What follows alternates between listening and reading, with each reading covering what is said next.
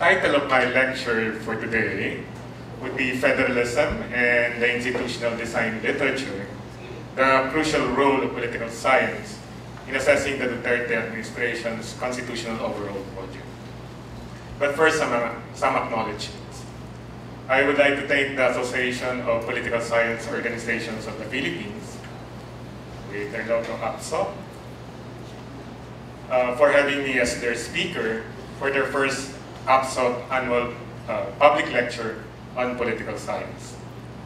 Special thanks to the APSO organizing team who spent an enormous amount of time and effort to make this first annual public lecture possible.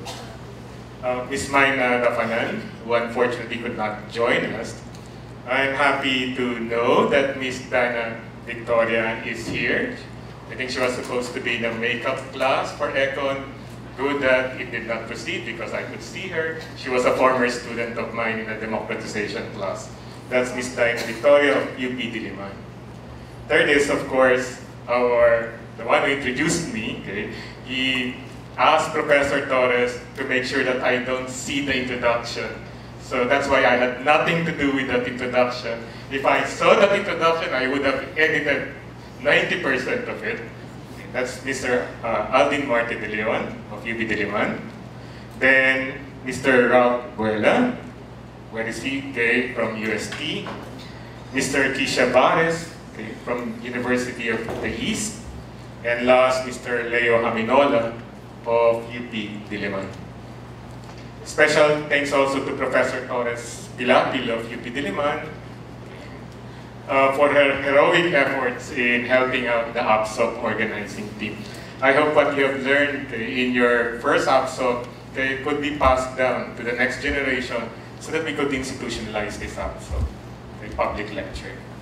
Uh, I would also like to thank everyone in the audience today, but special thanks to all the political science majors in the audience. I consider myself so privileged to be able to lecture in front of so many political science majors today. Oops, I'm happy to be part of your college political science life, uh, even if only for afternoon. Uh, congratulations.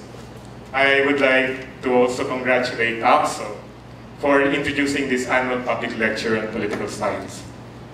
It is my hope that the next generation of APSO leaders uh, will continue with this annual public lecture such that most members will see each other again next year for the APSO's second annual public lecture with a different political science professor speaker and a different topic of national importance, but the same lecture celebrating the power of our discipline. For what I see as potentially one of the most important achievements of APSO's annual public lecture is that through this, Filipino political science majors, most of you guys, hopefully become more self-conscious of the awesome explanatory powers of our discipline. And this is done okay, in one way by being introduced to the best scholarship in political science available to a given topic. Hence, this afternoon, we celebrate our discipline by meeting some of its biggest and most brilliant scholars. To support me in the arguments that I will make on the Duterte administration's federalism and overall constitutional project, I will exclusively employ scholars who are political scientists. We're going to be clannish today. Only political scientists.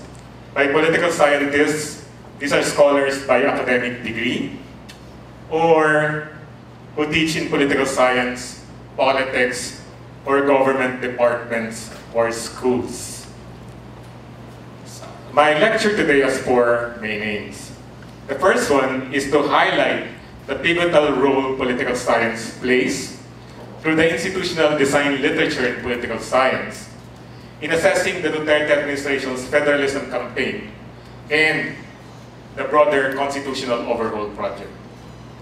Second, emphasize to political science majors the importance of adopting a more evidence-based and scholarship-based approach when tackling crucial political issues facing the country. The third is to give a working knowledge of a federal political system from its definition to its key institutions. Basically, what on earth is federalism that we always hear about? Four, give fair warning on the grave dangers of constitutional overhauls based on the nature of institutions and institutional change as seen from the vantage point of the institutional design literature. Limitations. Uh, this is just a two-hour lecture. And I will try to compress two UP courses I teach. Uh, the first one is Political Science 127. It's a uh, methodology course. And this semester, I'm actually teaching it. The course focuses Introduction to an institutional approach in political science. Uh, the five students are supposed to be here, but I could not find them right now. And also 157, a course that I taught last semester on the federalism project in the Philippines. Disclosure, I do not even get to finish the topics of each course in one semester.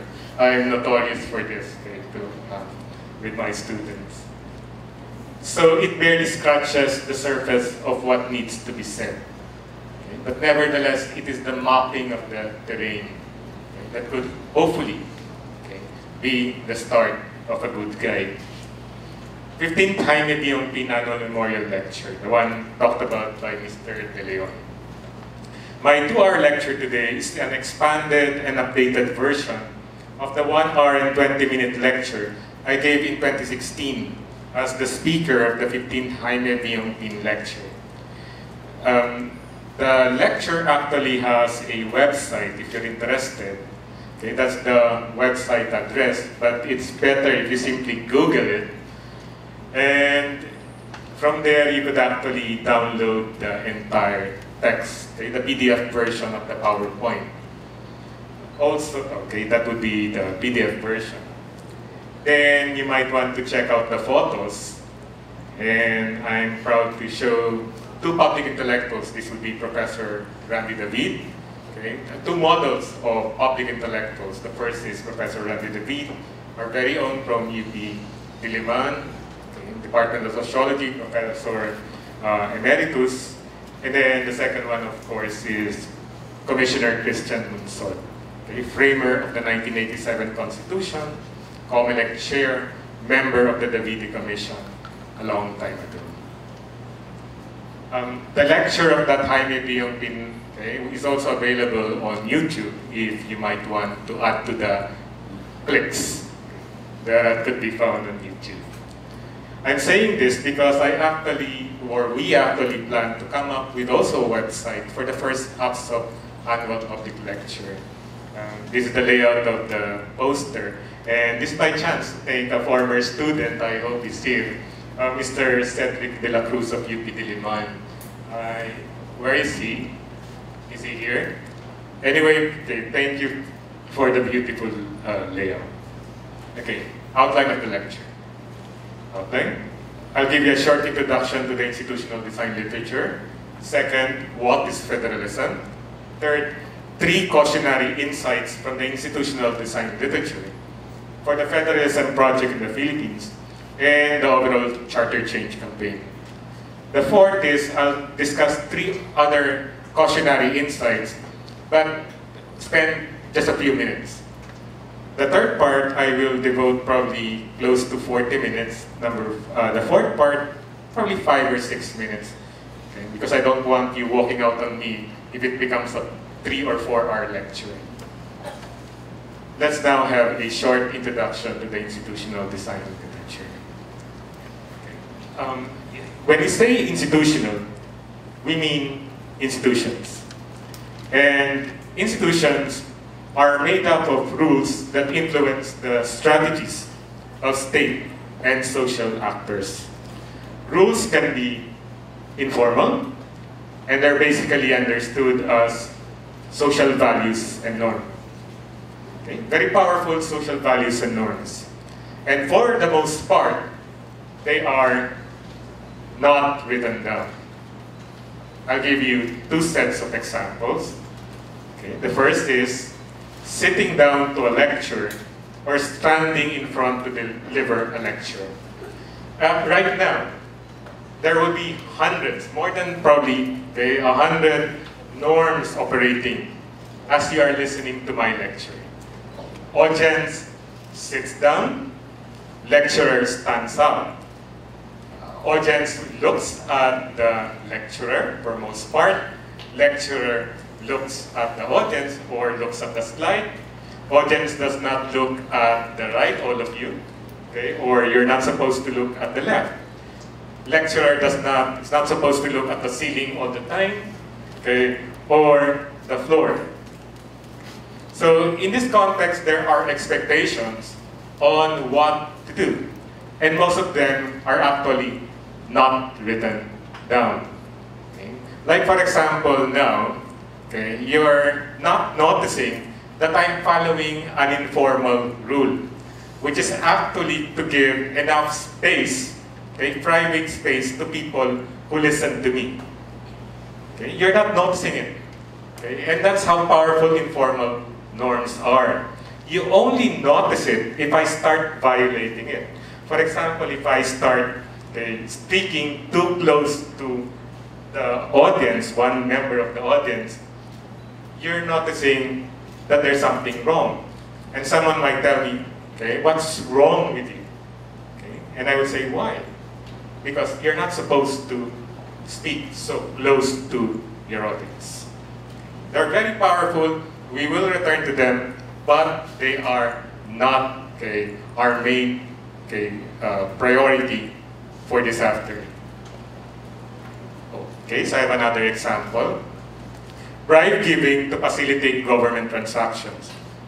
In some political cultures, some argue even Filipino political culture, giving gifts to facilitate government transactions. It's seen actually not so much as a bribe, but as a gift, as part of the process when you're trying to okay, facilitate a filing of government papers or making okay, a process work that involves government officials. Okay, so this would be our examples. But we're not interested or not, okay, will not give main priority to the informal uh, rules. What we are interest, interested in, and we're going to spend the whole afternoon on them, would be the second one. This would be formal rules, okay, the second type of rules. By formal, we mean written down. And they're written down somewhere as laws, regulations, constituted constitution, treaties, and so forth. And we're now ready to meet our first political scientist, okay, John M. uh, Carey. Okay, I could show you his picture from Dartmouth College. And for him, these written down rules are what he called parchment institutions. From his work, parchment equilibria and institutions. And the most important parchment uh, institution is the Constitution.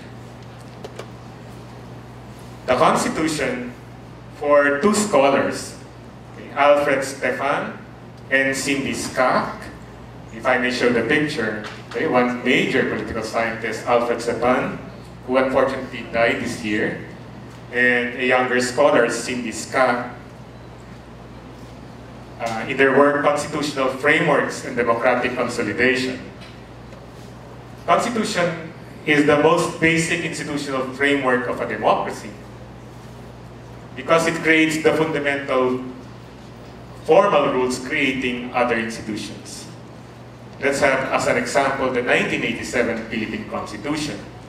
Through the 1987 Philippine Constitution, the legislative branch is created. Article six.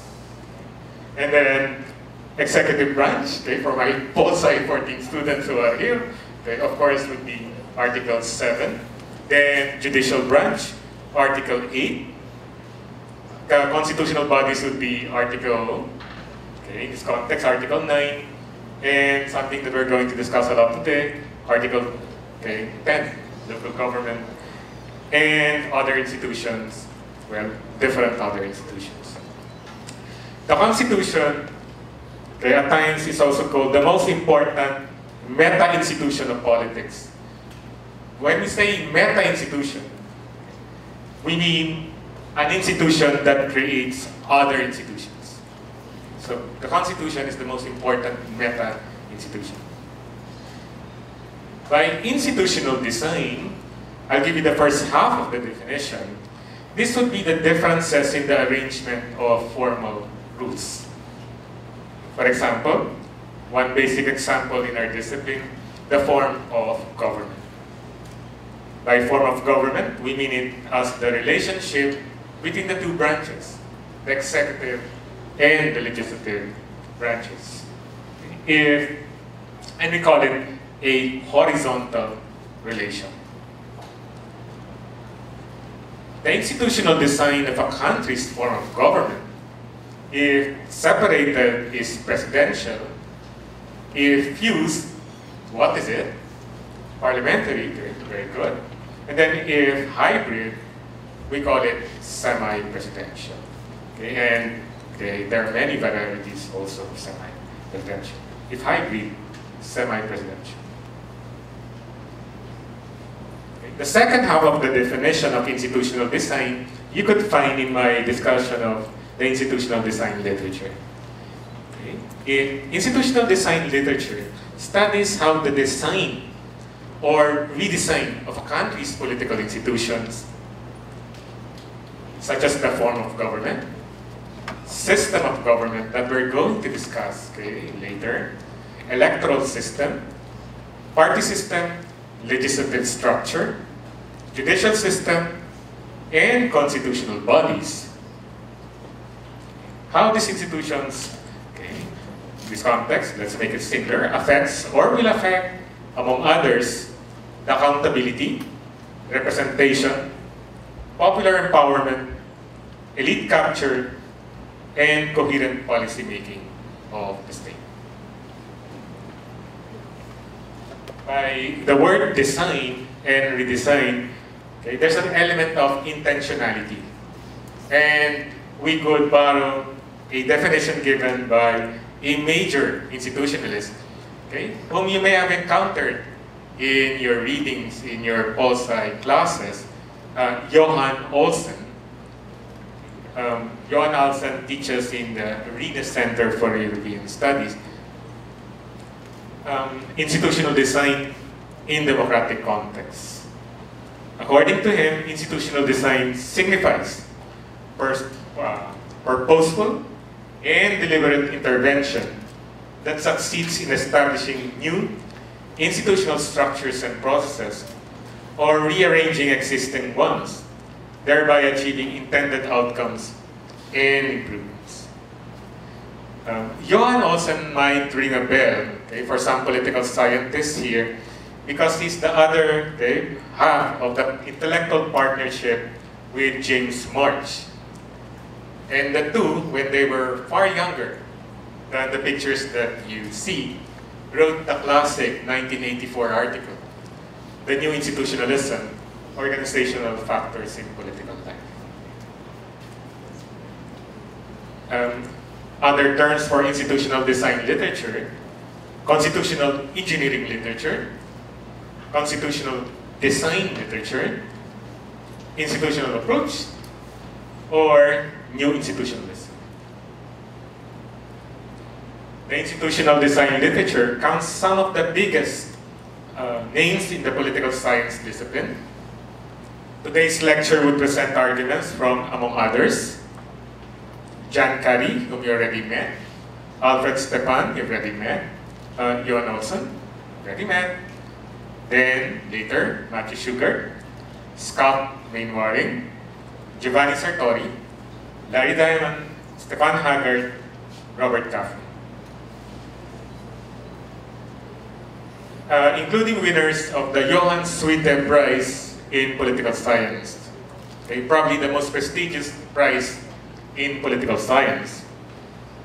And, it, and this prize is given to the scholar who, in the view of the foundation, has made the most valuable contribution to political science. Uh, it's based in Uppsala University in Sweden.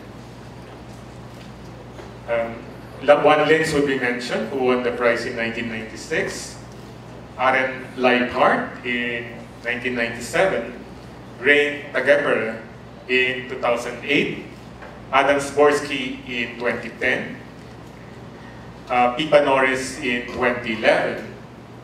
Um, the next one is not strictly an institutionalist, but we're going to write, uh, discuss an article of his that deals on institutional design. And probably you're familiar with him because he has reached scholarship okay, popular publication, Francis Fukuyama, who won the prize in 2015. And then last is Jon Elster, who, whom when I presented the lecture last year, okay, in October 26, just won the prize. Jon Elster in 2016. What is federalism? It's automated. So what is federalism? Let's start with definition of terms. Uh, once we get the definition right, we're almost half. Okay.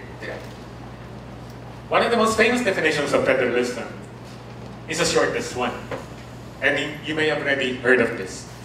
Okay, we got it, okay, or we get it from Daniel Elazar, an Israeli political scientist, okay, who taught it, okay, in the United States okay, in his 1987 book, Exploring Federalism. This is the guy, okay, Daniel Elazar, and this is book, um, Exploring Federalism. According to Daniel Elazar, okay, um, you, you might have already encountered this, the simplest possible definition is self-rule plus shared rule. By self-rule plus shared rule, this italicized, italicized part is repeated like a mantra in most discussions of federalism. What's federalism? Self-rule plus shared rule. The simplest possible definition. But ironically, as you will find out, nothing is simple here.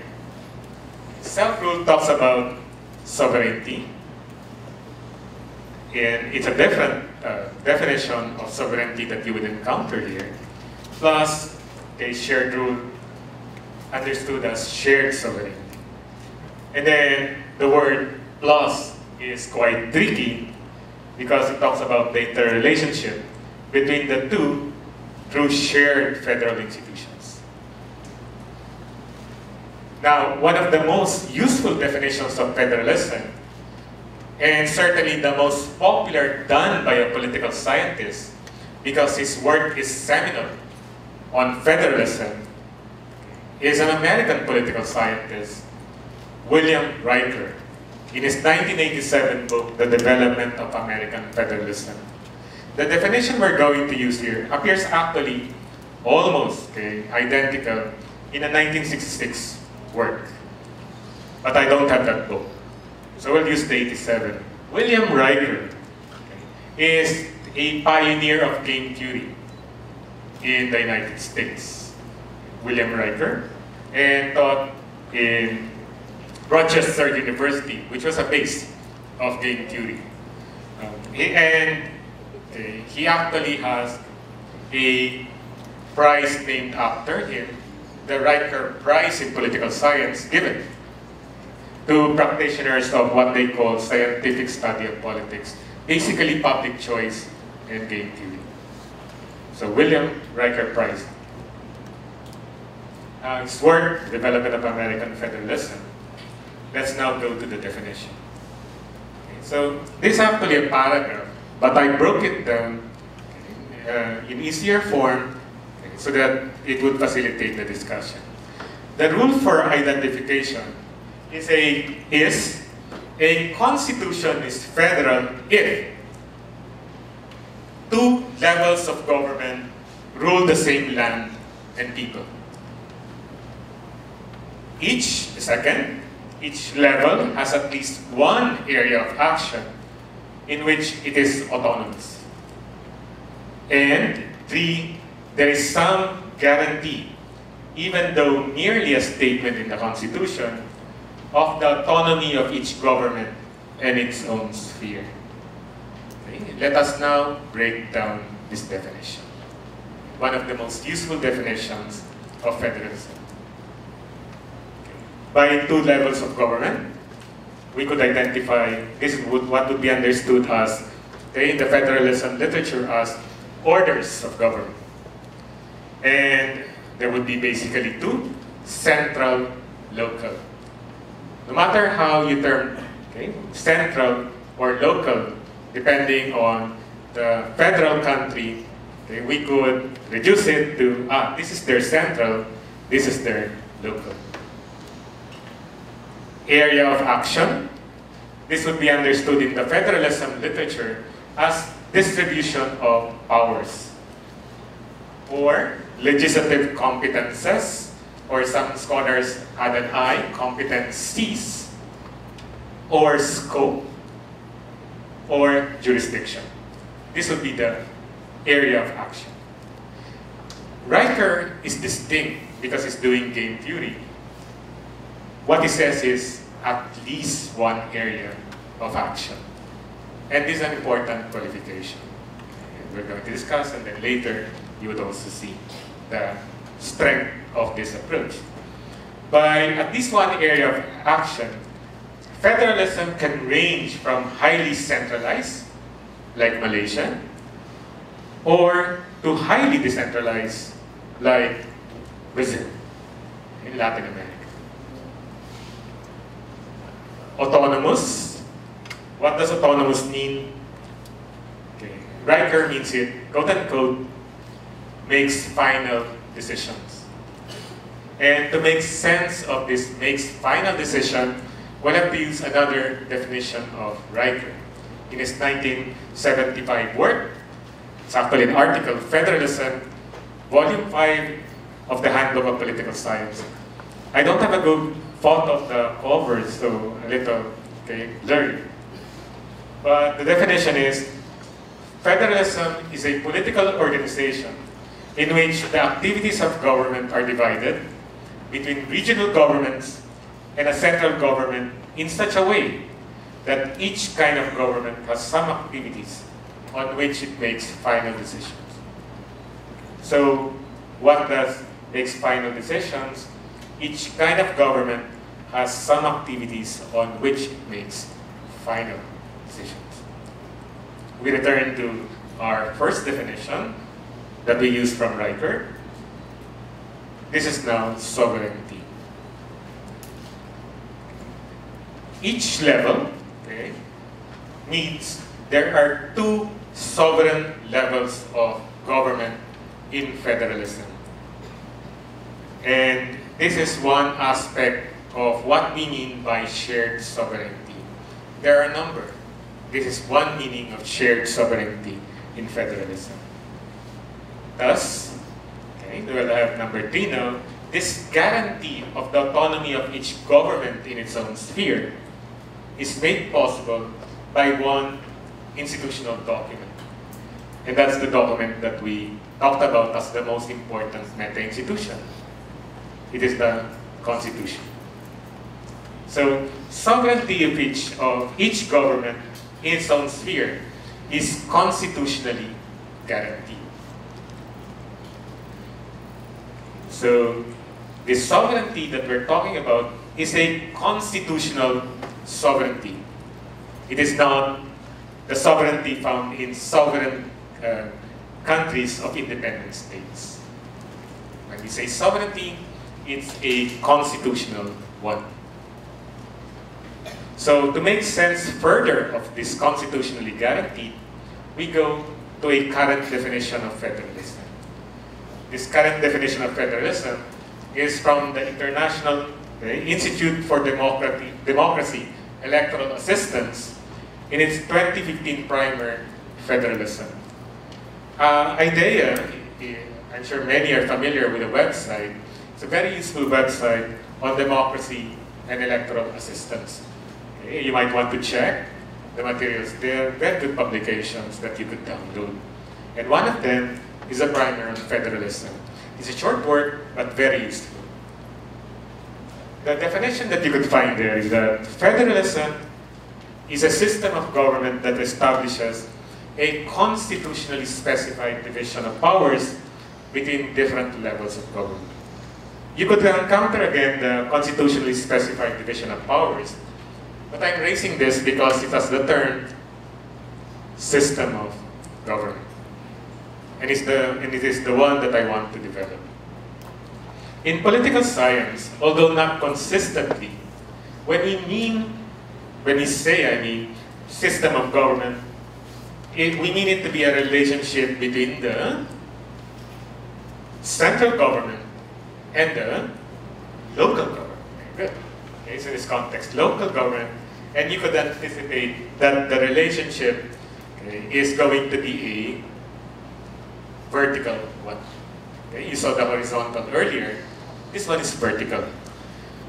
Some scholars might not be consistent. They might say system or in, uh, uh, interchange system and form of government.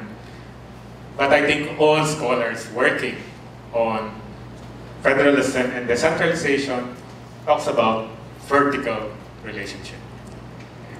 Um, in this lecture, to make it simpler for us and more consistent, when we mean system of government, we mean okay, that vertical relation. So this okay, is now, when we say unitary system of government, the central government is the single central source of authority. Uh, it is the one that makes final decisions. There is a single sovereign recognized by the Constitution. Powers can be delegated, so we could imagine it in terms of this downward arrow. But in the final analysis, the local government is subordinate to the central government. A unitary system can range from highly centralized. For example, let's have Singapore, which is a city-state. In, in, this context, um, no powers are actually delegated. Or a unitary system can be highly decentralized, like Norway, wherein many powers are delegated. And we could have okay, a uh, thicker arrow to depict the relationship. A unitary system can be, in fact, be more decentralized than some centralized federal systems.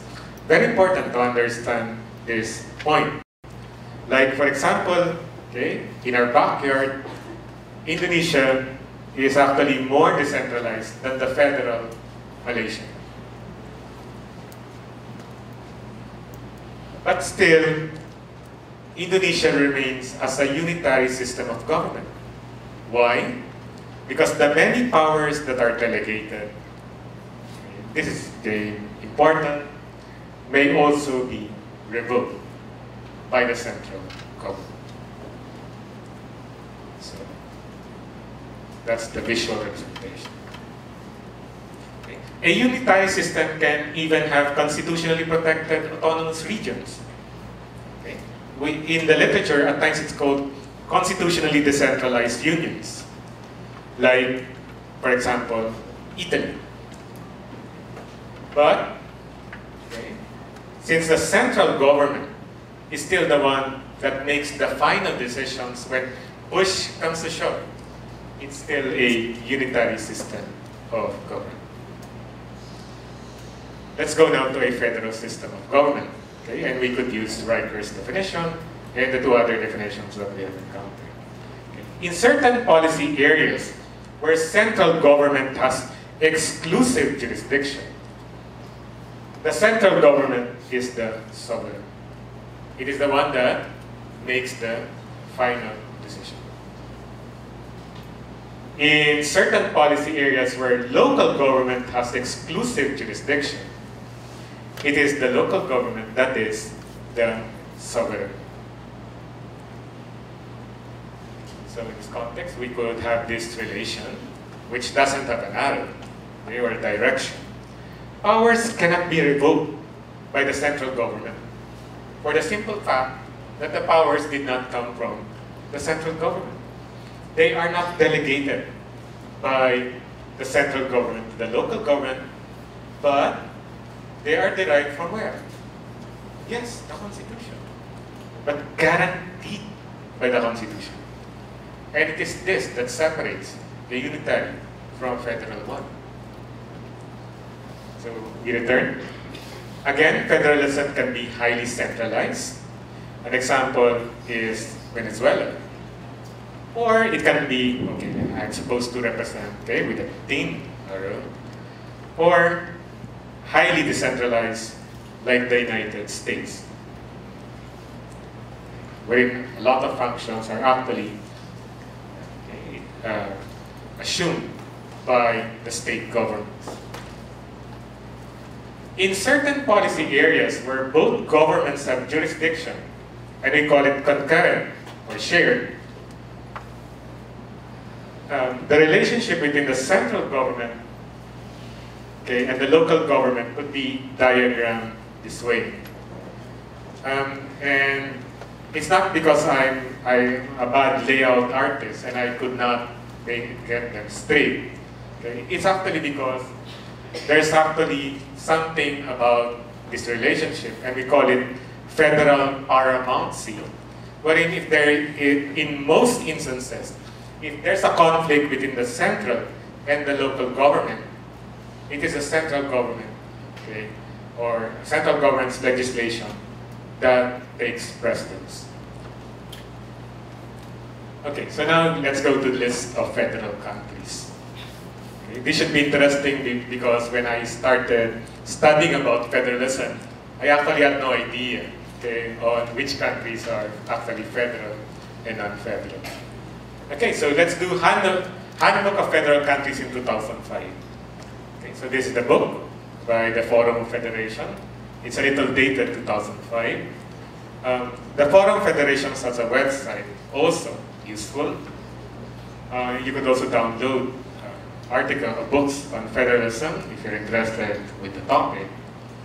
Um, it lists it listed 25 federal countries. Argentina, Australia, uh, Austria, Belgium, Bosnia-Herzegovina, Brazil, Canada, Comoros, Ethiopia, Germany, India, Malaysia, Mexico, Federated States of Micronesia, Nigeria, Pakistan, Russia, Serbia and Montenegro, South Africa, Spain, St. Kitts Nevis, Switzerland, United Arab Emirates, United States, and Venezuela. Uh, we, we actually have media kits on this, so you don't have to copy because they're quite uh, numerous. Okay. Um, Serbia and Montenegro uh, is no longer federal because Montenegro has become independent in 2006. Then some eyebrows might be raised because South Africa and Spain are listed by the Forum of Federations federal.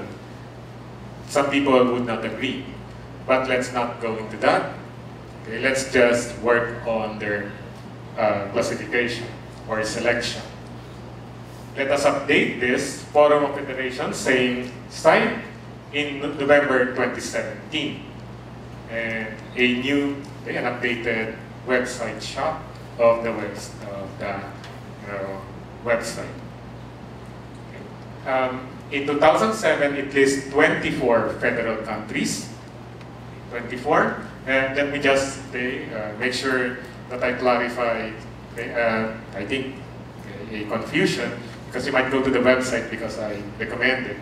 It says there are 25. But then when you go to the drop-down menu and you count, only 24.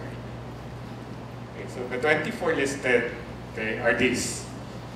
And it adds Iraq, Nepal, and Sudan but still 24.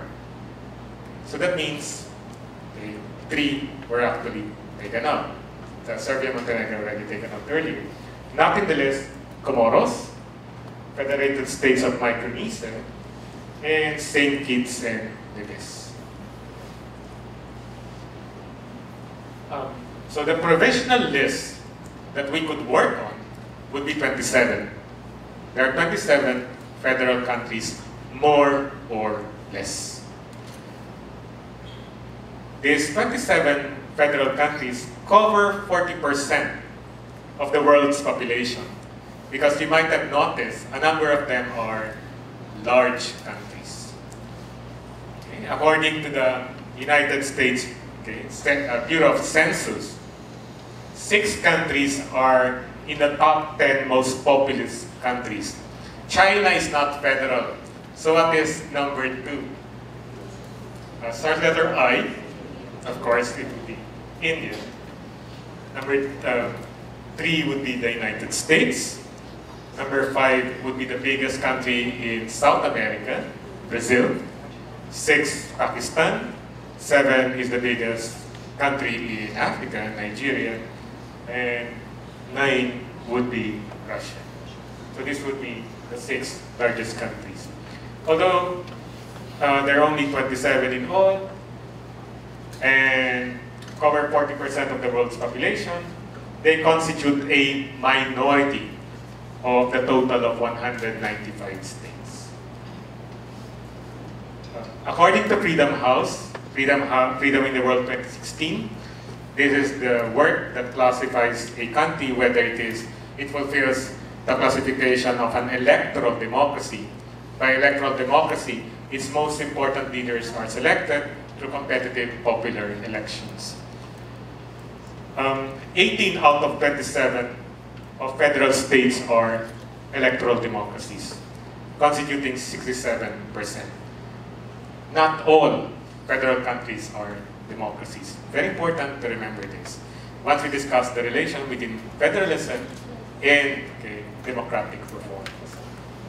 Um, it's, important, it's more important for us to actually focus on which countries are not electoral democracies. And this would be Ethiopia, Iraq, Malaysia, Nigeria, Pakistan, Russia, Sudan, United Arab Emirates, and Venezuela. What's the percentage if we go to unitary states? 107 out of 168 of unitary states are electoral democracies. About 64%. Not much difference with the federal states. Let's go to the Human Development Index, uh, International Human Development Indicators.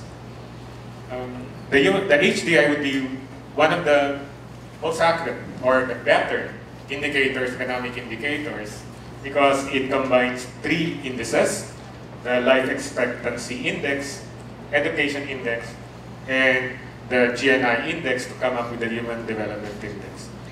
The Philippines okay, uh, index is 0.682, which actually places us in the bottom half of the HDI at rank 116 out of 188 countries. So we're not doing that well. But you might be quite surprised. In comparison to the 27 federal states, especially if you're familiar with how proponents of federalism in this country sell federal states as superior to unitary states, a simple comparison with the Philippines, which is not even doing well in HDI. Philippines has a better HDI score than more than one-third of these federal countries. Uh, 10 countries would be Philippines better than Comoros, Ethiopia, India, Iraq, Micronesia, Nepal, Nigeria, Pakistan, South Africa, and Sudan. This would become more dramatic if we start the breaking down the classification if we consider only federal states in Asia. If we do that, Philippines has a better HDI score than more than half of these federal countries, five out of eight countries. Now, if we consider uh, only federal states in Asia that are electoral democracies, there's actually only one country that is doing better okay, than the Philippines in terms of HDI score. It's important to remember, okay, the diversity of federal countries is important to keep in mind when you listen to proponents of federalism in the Philippines. We'll keep on highlighting just a few well-performing federal countries. Germany is a favorite of them. Malaysia, Switzerland, United States, and Australia. If you listen to the proponents. Okay. While ignoring the more problematic ones identified by the virus literature. Institutional design literature, democratization literature, peace literature, ethnic okay, nationality literature, Argentina, Brazil, Comoros, Ethiopia, Iraq, Mexico, Nepal, Nigeria, Pakistan, Russia, South Africa, lately Spain with its Catalonia problem, Sudan with its okay, peace problem, okay, and Venezuela, which is considered as the basket case of federalism right now. Okay, a resource-rich country, okay, a country rich in oil, but because of its political crisis, it's 70 74% of its population in one survey listed that they have lost 18 pounds. Okay? Uh, involuntarily, they were not dieting because of hunger. Venezuela is a federal Let's do now the institutional features of federalism. Okay, so this section is mainly based on Ronald Watts' 1996 book, Comparing Federal Systems in the 1990s. Uh, let me share to you a photo of uh, um, Professor Watts, who unfortunately died in 2015, okay, uh, taught in Queen's University. Many texts in the slides are direct quotes from the book. I did not rewrite many of his terms because of the technical nature of his arguments. And I'm also going to use the primer of IDEA, Federalism, and also one article by an Australian uh, political scientist in the Oxford Handbook of Political Institutions. Very good handbook that you could download on the internet. Um, it's Comparative Federalism by Professor Brian Galligan, who teaches in Melbourne, the University of Melbourne. So let's do uh, six common institutional features of federal systems according to Ronald Watts. Different scholars list different numbers of common or essential features of federalism. Watts lists six common features that we're going to discuss this afternoon. Um, Brian Galligan lists four.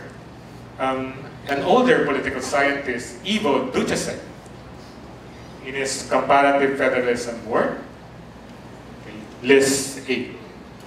So if you want a shorter reading, don't do Duchacek, go for Galligan. Uh, and Duchacek uh, calls these eight features yardsticks of federalism. Uh, let's do now the six common features of bonds. The first is orders of government. There are two orders of government, each directly, each acting directly on their citizens. These two orders of government is the first one, the federal level, aka federal, if you're doing the United States or Germany, central, South Africa, union government, India, national, okay, Sudan.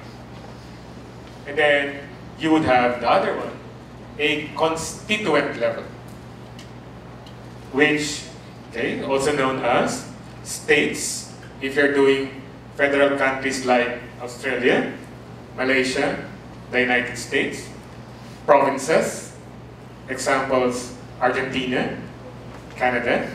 Okay, so you might hear their provinces, but you might think they're like our provinces here in the country. No, okay, they're their constituent levels.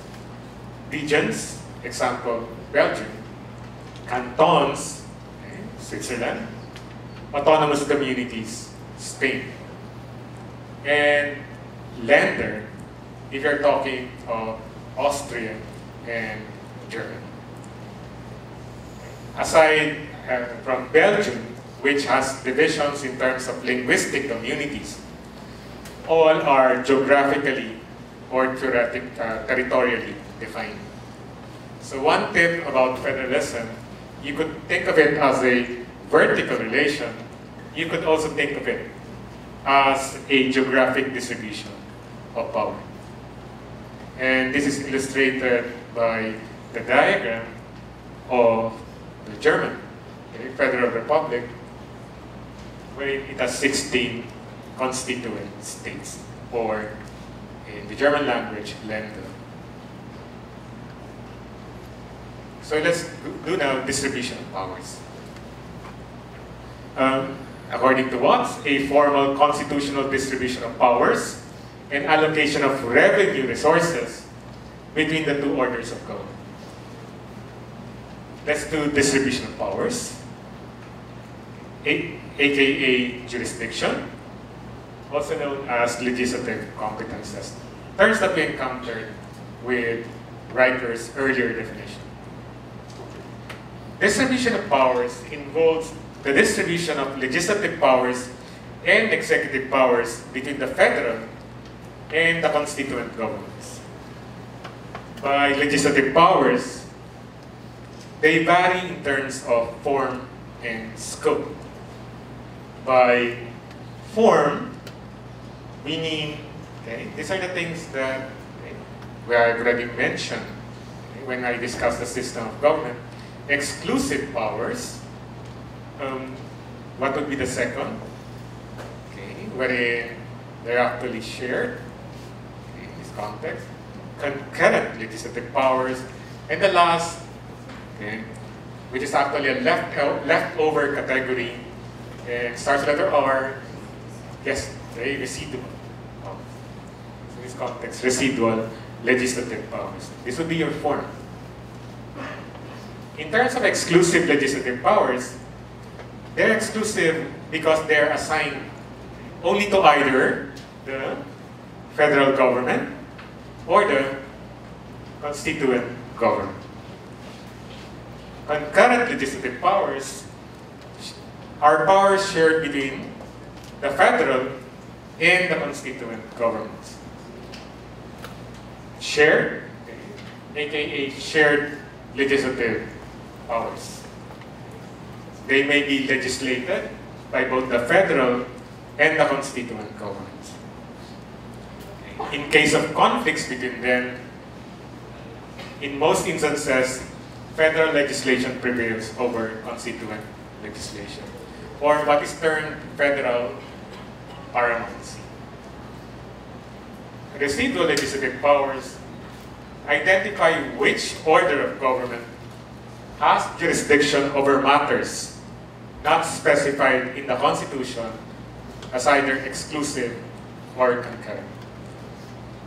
This jurisdiction okay, would be given to federal government, usually in federations created by the process of devolution from a former unitary state. And what kind of federalism is this? And supposedly this is the type of federalism we're going to get if we federalize. It is the holding together federalism. Holding together federalism. And examples are India, Belgium, Canada, Nepal, and Nigeria. The other one would be constituent governments. Residual powers are given to constituent governments, usually in federations created by the process of aggregating previously separate units. And I could see some of my students, I could actually ask them. Um, this would be your, Miss Ignacio? Yes, that's the coming together federalism. Uh, I call it trauma day, remember the lessons. And the example would be Australia, Austria, Germany, Switzerland, and the US. Wherein these are actually already existing states that form themselves into federation. Okay? They retain their power okay, as uh, in terms of residual okay, uh, separation of powers. When we turn, when we talk about scope this would be the areas of jurisdiction. Defense, taxing powers, immigration, social affairs, international relations, interregional transportation, economy and monetary union, maintenance of law and security, etc., etc. Okay, I have a chart from IDEA that talks about distribution of powers in a sample of federal countries. Okay, we have countries um, Australia, Canada, Malaysia, Nigeria, Pakistan, South Africa. Um, you might notice when it comes to foreign affairs and defense, all are federal. Although South Africa is the term central. But when we start going down to the police, you would notice that in Australia, defense federal, police becomes shared. Canada, federal becomes shared. And also Pakistan, federal units. Um, criminal justice, shared Australia, units Canada, Malaysia federal, Nigeria shared, Pakistan units, South Africa central, but then for those who are going to be lawyers here, because I know OSI is an excellent uh, pre-law course, look at this, come civil justice, it's a different story for a number of countries. In Canada, it becomes shared. Then in Nigeria, from shared, it becomes units. So, diversity. And we're just talking of six countries. In education, primary, you have this selection. But when it comes to your tertiary level, college level universities, Australia and Nigeria different. Primary Australia units, it becomes shared from university. In Nigeria, units become shared. And then South Africa, shared, it becomes exclusively central. Let's go to health and welfare. Security, social security. You have this election. When it comes to hospital, again, some shifting. Federal, unit to units in Australia, units to shared in Canada, then Nigeria unspecified to shared, South Africa central to shared. And you might have noticed Malaysia it's a federal country, but highly centralized. It's all federal. Economic, let's do trade and industry, all shared, except South Africa. All shared. Except, this without, okay, yes, shared, okay, central, but the shifting okay, central, trade and industry, becomes shared interest. Let's now discuss distribution of power still. Okay. This would be something that you would hear in the federalism discussion, the difference between symmetrical and asymmetrical. Start with symmetrical. Symmetrical simply means all constituent governments, all the states, have equal juridical status and powers. Asymmetrical um, and there are at least two types. The one is political symmetry. Let's do constitutional symmetry. Means differences in the status of legislative and executive powers assigned by the Constitution to the constituent governments. One example, one type of constitutional symmetry is increase, just increase the jurisdiction autonomy of particular constituent states. And actually, okay, Malaysia has this. In terms of concessions made to the Borneo states, Sabah and Sarawak, when they joined the Malaysian Federation in 1963. Uh, let's do now allocation of revenue resources. And this would be first, tax collection and revenue raising powers. And second, intergovernmental financial transfers. Together, they are known as fiscal federalism, which is the, also at the heart of the federalism debate in this country. Fiscal federalism, in fact, should be a separate lecture altogether because of its complexity. Um, let's do first, oops, sorry, tax collection and revenue raising powers.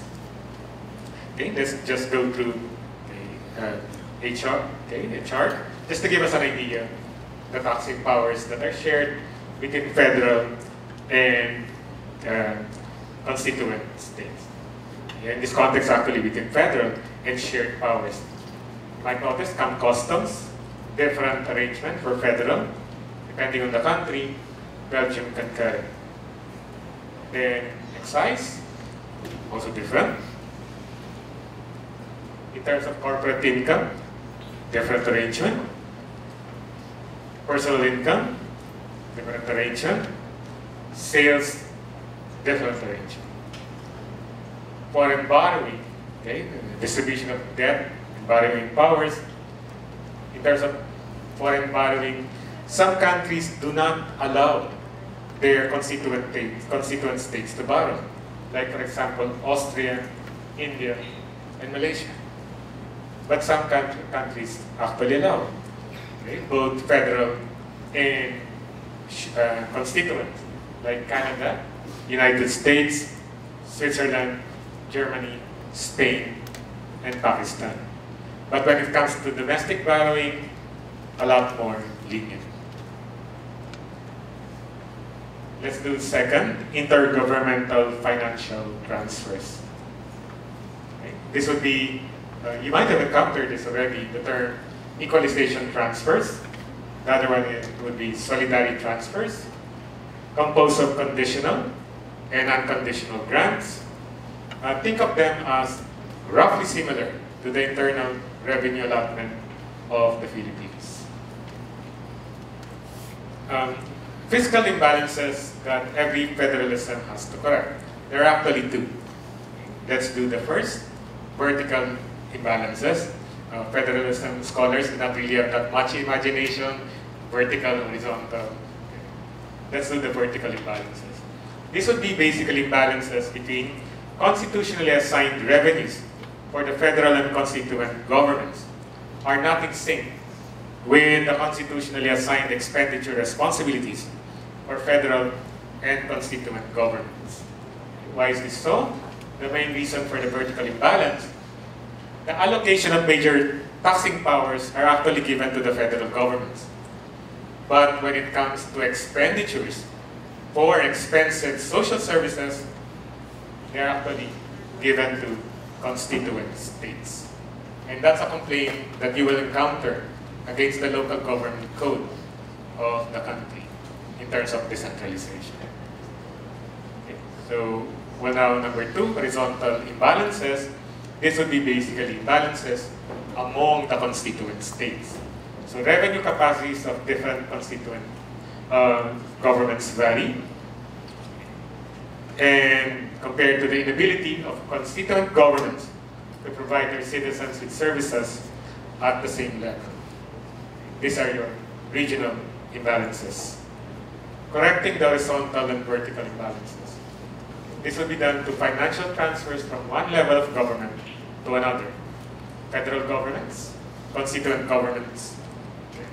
With the financial transfers, the, the arrow goes from federal to constituent governments, except for one country uh, wherein the transfer is from one constituent government to another constituent government because they do not tolerate inequality, and that is, of course, Germany. Germany as an interstate financial transfer, which should be very interesting to study for those interested on federalism. These financial transfers could be conditional transfers, meaning that the federal government transfers to constituent governments that have conditions attached to them. That's why they're called conditional. And the other one would be unconditional transfers. This would be federal transfers to constituent governments that have no conditions attached to them.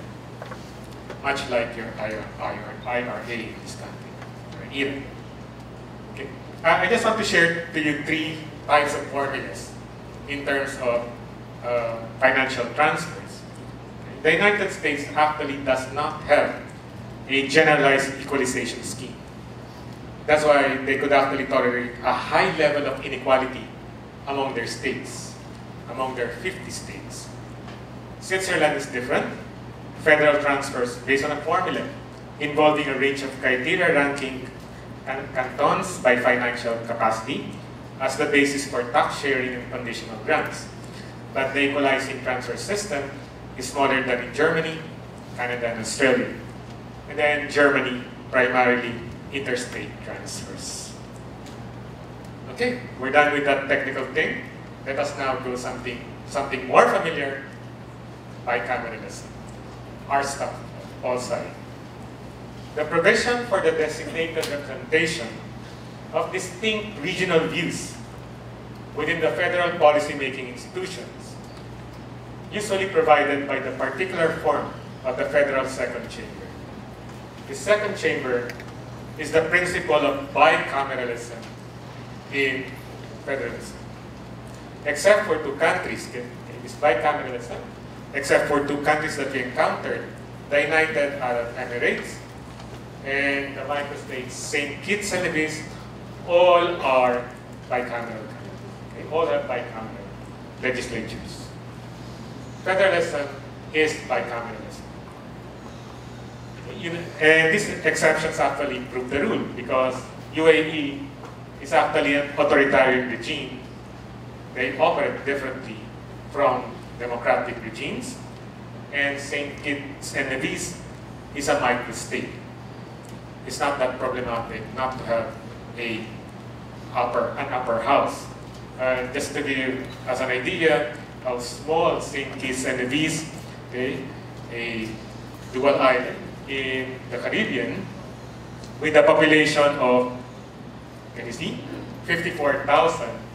In the context of the Philippines, this is a really small population. Okay. Even in Quezon City, the 10 um, top 10 populous barangays in Quezon City are all federal. No, uh, they're all bigger than the St. Kitts and Nevis. Barangay Commonwealth, okay, to Bahay okay, So if you're living in those barangays, perhaps you could recommend that they become bicameral. So St. Kitts and Nevis. So these are just microstates, it's not a problem. Okay. Um, unlike the first chamber, the second chamber is the legislative institution which operates on the basis of representation as states. That's why distinct regional views within the federal policy-making institutions. Um, it is the most distinct shared rule in institution of federalism. Um, I just give you three examples. In, in my federalism class, we discuss a number and I've chosen them for because they're quite different. Canada has an appointed Senate. That's why, although it has a number of powers, because it is simply appointed, it's actually ranked as a weak uh, upper house, okay? which we can discuss later. Okay? Constitutionally, you could be powerful, but if you're not elected, okay, you don't have the same legitimacy. The United States, up to 1913. Okay, we're actually nominated by state legislatures. Now you're familiar with the United States, that, okay, or the upper house of the United States, okay, that is directly elected. And then Germany, okay, with, uh, Germany's Bundestag, okay, wherein state governments are actually ex officio members of the Bundestag. That is weighted in terms of representation. Smallest states, three, and based on the population, it goes to four, five, and six. So you have Canada there, as I mentioned, then the United States, in terms of direct elections, Germany, okay, ex officio official of the lander governments. Okay, let's do now constitutional entrenchment. We're almost there, we're now number four. This is a very important concept, constitutional entrenchment. A supreme written constitution, not unilaterally amendable, requiring the consent of a significant proportion of the constituent units. Not unilaterally amendable. This is the principle of constitutional entrenchment of federalism. It's so important your speaker okay, emboldened it and then underlined it. Constitutional entrenchment. In plain English, very difficult to amend its federal character. Once federal, very difficult. And in fact, we will qualify this later. Okay, let's do this. The amendments of the Constitution that affects its federal character okay, for most federal countries, okay, like for example, distribution of power, okay, which state okay, or um, which level of government gets jurisdiction, require the involvement of both orders of government. Most federations require approval in both houses of the federal legislature in terms of simple majority for certain countries, Switzerland and Canada. Simple majority is 50% plus one of the quorum, or absolute majority, like Australia. Uh, when you say absolute majority, it is 50% plus one of what? Okay, my polls are 14 students of all members. And then special majority, or also known as supermajority. Anything above 50% plus one of all members is a special majority. Be two-thirds, three-fourths, four-fifths. That would be your special majority. US, India, and Malaysia. Okay, for example, in the United States, you need, you need two-thirds okay, majority of members of both houses of Congress. And it does not end there. Plus, approval either by a special majority of the constituent unit legislatures, for example, the United States, Canada, India, and Malaysia, if in the US it's two-thirds for Congress, both houses, in terms of state legislatures, it's three-fourths. Very difficult. Or by a referendum requiring a double majority, which is a nice term to learn what is a double majority, also known as federally weighted, meaning that it's federal countries that do this for the most part. You have overall majority and overall okay, majorities in a majority of constituent units. Okay, so first is overall majority, and second, majorities in a majority okay, of constituent units. And Switzerland and Australia practice this. Uh, I have to qualify what, because in some federal constitutions, or some federal constitutions actually have eternity, eternity clauses for their federal uh, character. This means the clauses that cannot be changed by amendment, meaning it is built in, in the Constitution that you could not change them. Two major federal countries that have them would be Brazil and Germany. So, this context, in certain cases, it is not possible to revoke. It is not possible to revoke. In a way, in short, uh, there is forever in federalism. Because it is there, there. Some federal uh, uh, constitutions have eternity clauses. Okay, let's have adjudication now. Two more. An umpire in the form of courts or provision for referendums to rule on disputes between governments. This umpire, rule on disputes between governments, become even more necessary in federations. Why? Because you could expect a lot of conflicts in the jurisdiction. Who's responsible for what? Uh, Unavailability of overlaps of jurisdiction between governments. And the consequent likelihood of intergovernmental conflict and competition. There would always be a need for processes to adjudicate disputes and resolve conflict and resolve conflicts. Okay, this process can be via popular referendum, as you will find in Switzerland, or simply judicial. Uh, the two uh, governments sue each other. And that is why one criticism of federalism is the concept of judicialization of politics. the two governments keep on suing each other. One is responsible for. Okay. Okay. Uh, and in terms of courts, federal countries have two types of courts. One is Supreme Court, um, final adjudicate, adjudicator in relation to all laws, including the Constitution. Um, examples would be US, Canada, Australia, India, Malaysia, and Australia. And what is the second type? Okay, um, would be, yes, constitutional courts. And constitutional courts are courts that specialize on constitutional issues. It specializes in constitutional interpretation. And you have Belgium, uh, Germany, Belgium, and the country that ruled that the referendum of Catalonia was actually unconstitutional. And last, intergovernmental collaboration, wherein you have processes and institutions to facilitate intergovernmental collaboration for those areas where governmental responsibilities are shared or inevitably overlap. This intergovernmental collaboration has two important dimensions, inter-unit relations and relations within federal unit governments because there are many states now. They need to cooperate and coordinate with each other.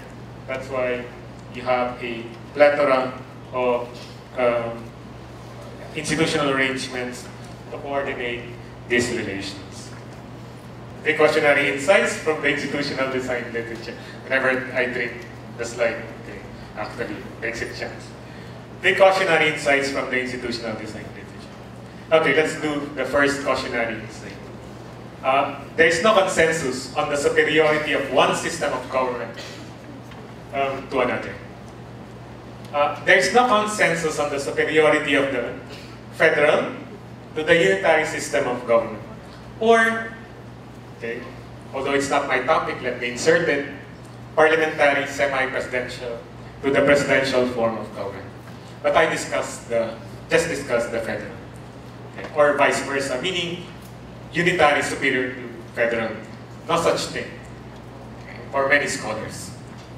While many scholars in the institutional design literature argue for the superiority of a federal to a unitary system, and many of these scholars they are also okay, the very best scholars. In fact, we have already met some of them. Examples of top political scientists. Alfred Stepan is pro-federal. And one of his work one of his most famous work is Federalism and Democracy Beyond the US Model. Arend Lijphart, a winner of the Johan Skytte Prize that I already mentioned, is pro-federal. Okay? And is one of the most important scholars of the institutional design uh, uh, literature. Uh, in his work, Patterns of Democracy, which I highly recommend, okay, it is pro-federal uh, Norris, who won the Johan Skytte Prize, that I already mentioned, okay, taught in Harvard, is pro-federal. It is, in her important work, Driving Democracy, okay, you could do chapter 7. It's a strong argument on federalism. If you're pro-federal, you might want to read the work. Okay. Larry Diamond, the Larry Diamond, okay, major democratization scholar, okay, actually backs for the superiority of federalism over um, uh, unitary systems. Larry Diamond, is the picture of Larry Diamond, of Larry Diamond. But many scholars, also in the same institutional design literature, deny the superiority of a federal to a unitary system. Examples of top political scientists, and there are also many of them. Daniel Treisman, a political scientist working in UCLA, uh, University of California, uh, California, okay, uh, Los Angeles. Okay, is architecture of government, okay, which I, of course, highly recommend.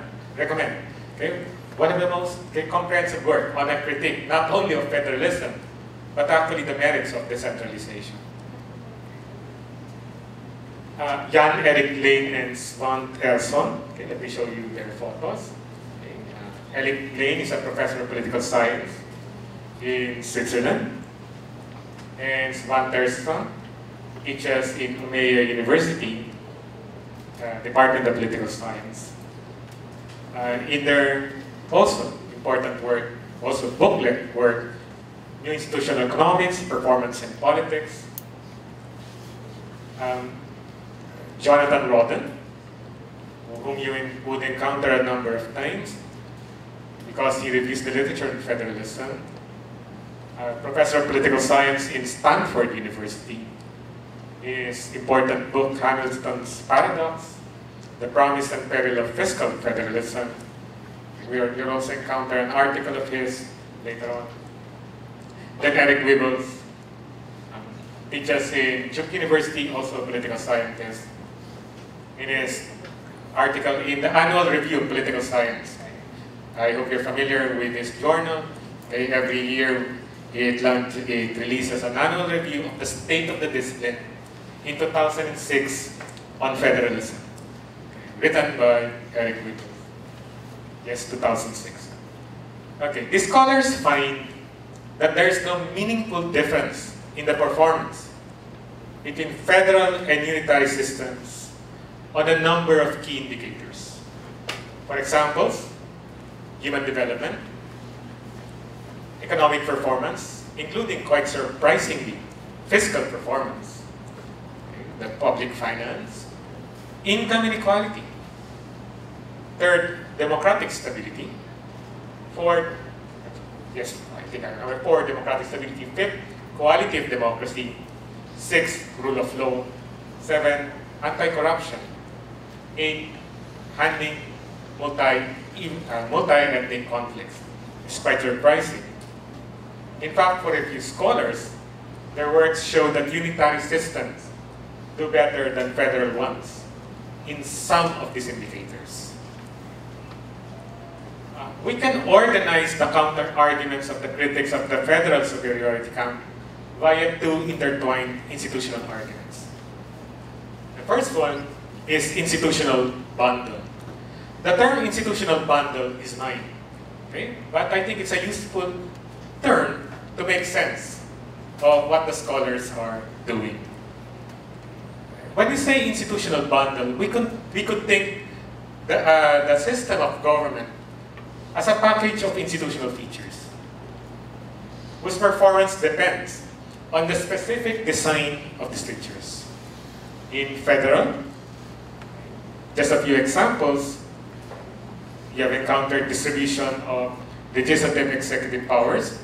Well, how the federal system or the federal country will perform would actually depend on how the powers of the executive legislative are actually distributed, okay? as well as the uh, distribution between the federal and the state level. The type of constitutional entrenchment, the design of the upper house, mechanisms for intergovernmental coordination. Similarly, unitary, its performance would depend on the manner of recruitment in the national local bureaucracy, appointment budgetary powers of the president uh, to or over the bureaucracy, level and type of decentralization, and level type of devolution. The key argument here is that the devil is in the details. It would depend on the specific design of each package of the institutional bundle, okay? and that would actually give you an indication of how the federal system and unitary system would work at the level of the bundle. So in this context, at the level of institutional bundle, it helps explain performance. Number two is more popular in the institutional design literature. This is the concept of institutional configuration. One of the most important concepts that I could share. By institutional configuration is that how different types of institutions affect each other. This means, okay, for example, how the electoral system affects the form of government. The important lesson here is that you must never analyze institutions independently from each other. There's no such thing as form of government alone. In order to understand executive relations in a country, how it performs, you have to understand how the electoral system works and how the party system works. And that's what okay, they mean by institutional configuration. As I said, institutional configuration, one of the most important insights of the institutional design literature. Because in the final analysis, you could not isolate one type of institution to another. They're linguistic shortcuts. Okay? You might get misled to think that because you have the word, okay, they, they exist different, uh, separately. No, they actually overlap each other in real life. Okay. So, I, uh, two scholars who have been impressing me the importance of institutional configuration are two major institutional design scholars, Matthew Shugart, teaching in the University of California, and Scott May Waring, Kellogg Institute for International Studies. So you might want, or those who have not yet encountered them, you might want to read them. I learned my institutional configuration from them. Um, one important work that they have, 1997, you might have already encountered this work, Presidentialism and Democracy in Latin America, Rethinking the Terms of the Debate. You will encounter this article again once we go to the Philippine Federalism. Okay, this is the book that they edited. I already mentioned this, Jonathan Rodden's work on federalism. The main one is Shugart on forms of government, this one on um, systems of government. In institutional configuration, system of government, the performance would also affected by the design of other institutions. For example, in federal system of government, and just one pair of examples, the party system. The party system, in turn, would be affected or would be composed, whether it's a two-party system, a multi-party system, whether the party system, is regionalized, meaning that the organization of the parties are based at the, at the state level, or non-regionalized, a more national organization of political parties. And Okay. This would affect the federal system of government. The party system, in turn, is affected by the electoral system. It's one of the basic tenets of institutional design. Party system okay, affected by the electoral system. Whether your, uh, your electoral system is SMD, meaning single member district, or proportional representation, and depending on the type of formula of your PR or your uh, MM, um, your mixed member electoral system, that would affect, in turn, the party system, that would affect the federal system of government. And the devil is in the details. Same principle when you do unitary system. So, in terms of institutional configuration, at the level of institutional configuration, helps explain performance. So we're Done with two, let's work on the third. Besides these institutional factors, so institutional bundle, institutional configuration, scholars also raise non-institutional factors. Uh, examples would be the political culture. This would be your non-formal institutions, like for example, how the public views uh, bribe giving, uh, in relation to government, the length of your democracy, political elite composition, is it dynastic based or non-dynastic? Is it regionally based or non-regional? Level of economic development, colonial heritage, the most important is British colonial heritage, type of ethnic fragmentation, is it territorially based or dispersed? Does it tend to be violent or non-violent? path dependence, what happened at a certain moment of history. Like for example, 1986, what happened in 1986 that explains later on what's happening now for us in 2016 and 2017. Geographical location. Are you near okay, water areas? Are you part of the European Union? All of this okay, are considered to affect institutional performance in addition to institutional factors. Together, they're known as institutional endogeneity. And we have the three components that we need later on to discuss the three caution on the third cautionary insight. Okay, so I know a lot of concepts are being shared out, but the, okay, uh, once we go further, once we discuss our own federal campaign, we're going to use institutional bundle, institutional configuration, and institutional indigeneity to show to you how problematic the federalism campaign of the current Duterte administration. So let me just wrap up this argument on institutional and non-institutional. It is this particular combination of institutional and non-institutional factors that explain the performance of a federal or unitary system. Let's do the second uh, cautionary insight. Reform, not overhaul.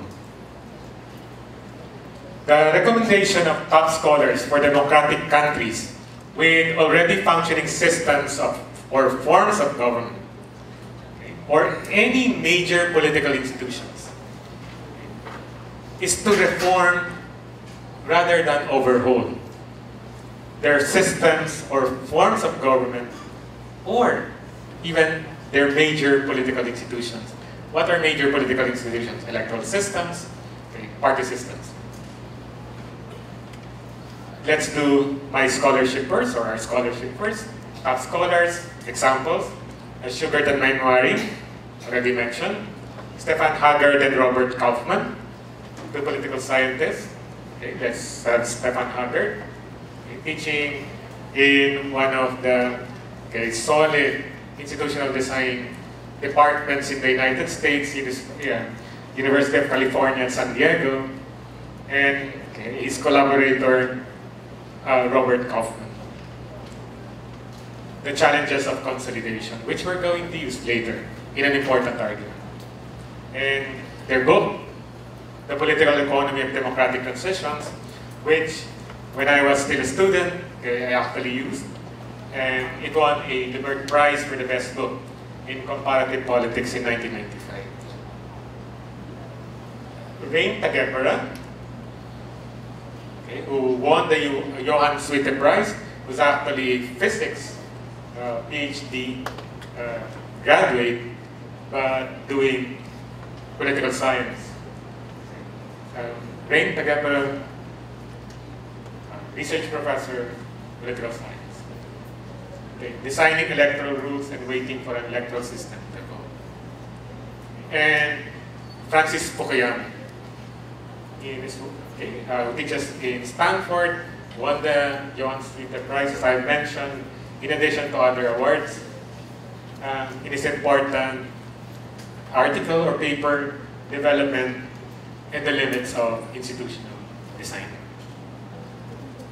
Okay, let's go to the argument. The revival of institutional design questions actually has a historical context. Um, is linked with the most recent wave of democratization.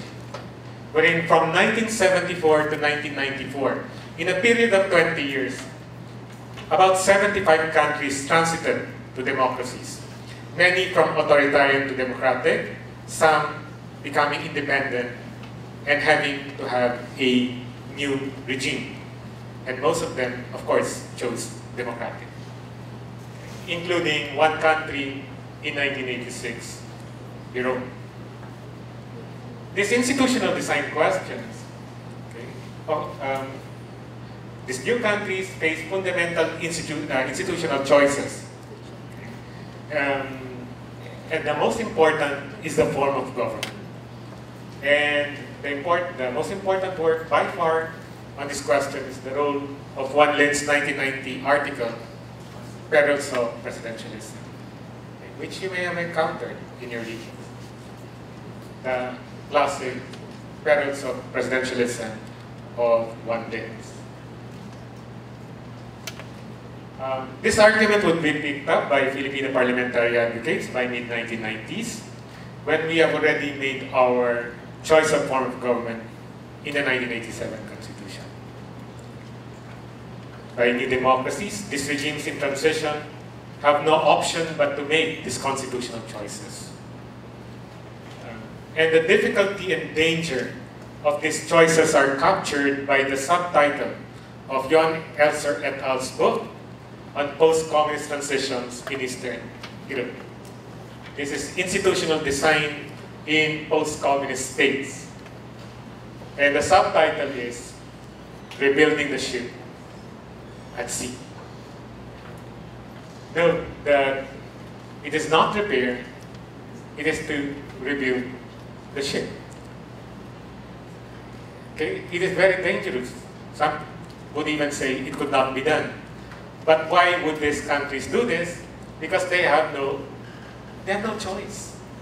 Because they're making the transition from authoritarian to democratic regimes. These are countries that, that are out at sea. The ship is destroyed or damaged. You have to rebuild it. These are the new democratic regimes. And we did, we had that experience in 1986 when we rebuilt our own ship at sea. Even for many scholars, arguing the superiority of parliamentary and or federal, there is no recommendation to dump existing presidential or unitary systems. Some do, but many scholars, they do not. It's a scholarly debate for them. Let's do parliamentary presidential, and there's no one bigger than Adam Przeworski on democratic survivability. Uh, have, uh, this is Adam Przeworski, teaching in National NYU, uh, professor of politics, winner of the Johan Skytte Prize also. Uh, this work, What Makes Democracy Secure, is probably uh, one of the most cited, if not, if not the most cited work on the superiority of parliamentary systems to presidential systems on democratic survivability. Parliamentary democracies survive longer than presidential democracies. Okay? But what is interesting is that not only is there no recommendation to shift, but according to Adam Przeworski, if you're a new presidential democracy, do not attempt to shift to parliamentary system. Okay? Because you're going to open really tough distributional conflicts that, that may destroy your society. Uh, so the next, let's have federal unitary. Uh, we will have a German scholar, Ute Wachendorfer-Schmidt. In, okay, unfortunately I don't have a photo. Uh, that's the logo, not his face uh, in their work, Federalism and Political Performance. In this work, the scholars, the authors, the contributors explore the superiority of a federal system to a unitary system on a number of indicators, okay, but still, no recommendation, no recommendation to shift. Uh, the analogy that I use in the Jaime Bean lecture is the analogy of Sagada versus Manila. You think of federalism as Sagada. For those already gone to Sagada, oh, how beautiful the place is, okay? How okay, clear the waters and the air, how tranquil it looks. Okay? Great to be there. But it's very different to actually recommend that you pattern Manila over Sagada, okay? or like Sagada. That's a different thing. You might actually like federalism, but it's a different thing to recommend it for a unitary state. Why? For a number of reasons that we're going to discuss later. Okay. Overhaul. Okay. Among the reasons why strongly discouraged, the first one is unnecessary. If there is no superiority, then there is no need for overhaul reform will suffice. The second one is unbelievable. Tasks are too institutionally and, and intellectually complex for the lofty goals that the proponents talk about. Okay? And we're going to break down this argument. institutionally. We talked about the institutional bundle. We also talked about institutional configuration. In order to have a well-functioning federal system, you actually must consider also the institutional bundle and the institutional configuration.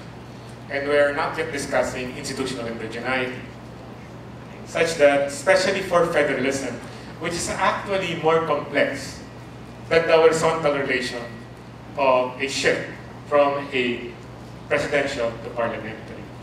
When you talk of federalism, you're going to talk about changes in state governments. In fact, the changes. You're going to introduce state governments, constitutions, courts, bureaucracy, etc., that need to be created. Uh, the Philippine time frame, depending on which proposed federal constitution uh, you read, and we have had four, at least four federal constitutions introduced since 2005. Okay, Jose Abueva's Citizens Movement for a Federal Philippines in 2005. So this would be the 2005 Constitution. Aquilino Pimentel's et al.'s Senate Joint Resolution number 10 in 2008 is Aquilino Pimentel's Constitution, Federal Constitution. The newer one, 2016 by two congressmen. Uh, resolution of both houses 008, RBH 08. And then, that's the page. And then the Federalism Study Group of the PDP Laban Federalism Institute in August 2017. This is the front page of that proposed constitution, done by a study group uh, which includes some university professors. Okay, so depending on which you read, like Abueva, at least 10 years, at least. That would be far more, which means you're talking of the term of two presidents. In the Pimentel no time frame that I could read, not clear, but it will take a number of years to execute, easily a number of years. May even be more than a decade. If you're reading the Rivera Gonzalez, not clear, but it will also take a number of years to execute. The interesting thing is the newest one, the PDP Laban. The time frame is at least six and a half years. But by the way the institutional design was done for Article 10 of the local government, it can actually take forever. And the danger of this proposed constitution, because it starts trying to become detailed, its design is that we could actually get trapped okay, in a state of nowhere, wherein we're neither unitary nor federal, but in a perpetual transition to nowhere. So that's the PDP Laban. Um, if it's already frowned upon in terms of or, it becomes more problematic in, in because under the Duterte administration, it's not just or, it's actually in. And, and we're on our own because no democratic country has been crazy enough to make these constitutional overhauls at the same time. So you're multiplying okay, the institutional bundle configuration Just when you think it could not get crazier, in the first SONA of the new president, he says, okay, you know, my advice to you is maintain a federal system, a parliament, but be sure to have a president, something that is copied from France. He wants a semi-presidential system. So, semi-presidentialism, which before Duterte was not there in the forms of government debate under Ramos okay, and Gloria Arroyo. But because the president wants it, Okay, so I have to say first the dual executive of the semi-presidential. Semi-presidentialism is when you're when you have a directly elected president okay, and a prime minister. If the president is not directly elected, even if you have a president in a parliamentary form, it is not semi-presidential. Just to give you an idea how powerful the simple fact that you are elected. You may have actually limited constitutional powers, like the one that the PDP Laban is trying to recommend. But if your president is elected, especially in a country with a tradition of electing their president, that president is going to be powerful. Okay, so no democratic country has been created, okay, the dual executive. The new president wants semi-presidentialism with a dual executive, and like a jukebox, we have a semi-presidential constitution. The PDP Laban as a president and as a prime minister It is semi-presidential. Dual executive okay, is actually, and with its very tricky executive veto gates. Let's do the intellectually complex. In terms of intellectually complex, actually the institutional design literature, very exciting, okay? especially if you're a young scholar reading it, especially in the heydays of the early 90s. But institutional design literature, as of now, has actually sobered from the enthusiasm of the early 1990s of the power to get institutional design right. Uh, one article, for example, in 2013, which actually uh, assessed the state of the literature, including the experiences of political scientists who actually advise new democracies of their, of, in terms of changing not their electoral, uh, not their systems of government or forms of government, but just one aspect of the institutional configuration, which is the electoral system. Okay? It is a more sobering assessment okay, of both the power and the limits of institutional design, especially for new democracies, wherein a number of the predictions of the model did not come true and they were actually even frustrated because once they advised politicians, advised cherry pick the recommendations for the for the, what the politicians like, okay? which would mean okay uh, the same thing, which could mean the same thing for us. Um, same way with Fukuyama, the title itself, limits of institutional design. Okay. This is true even for the institutional design literature and federalism. And one favorite of mine, Rodden's work on federalism, actually assesses the many of the reforms of the new federalism, or even the old federalism, okay, actually did not uh, uh, go as planned, okay, and actually become problematic. Uh, the institutional design literature, therefore, the Philippines Constitutional Overall Project in 2016, 2017, for me, is the height of intellectual irony. Because the literature has sobered, but in this country, okay, we have become gung-ho and wanting to change everything. So, is it the, okay, is it hubris?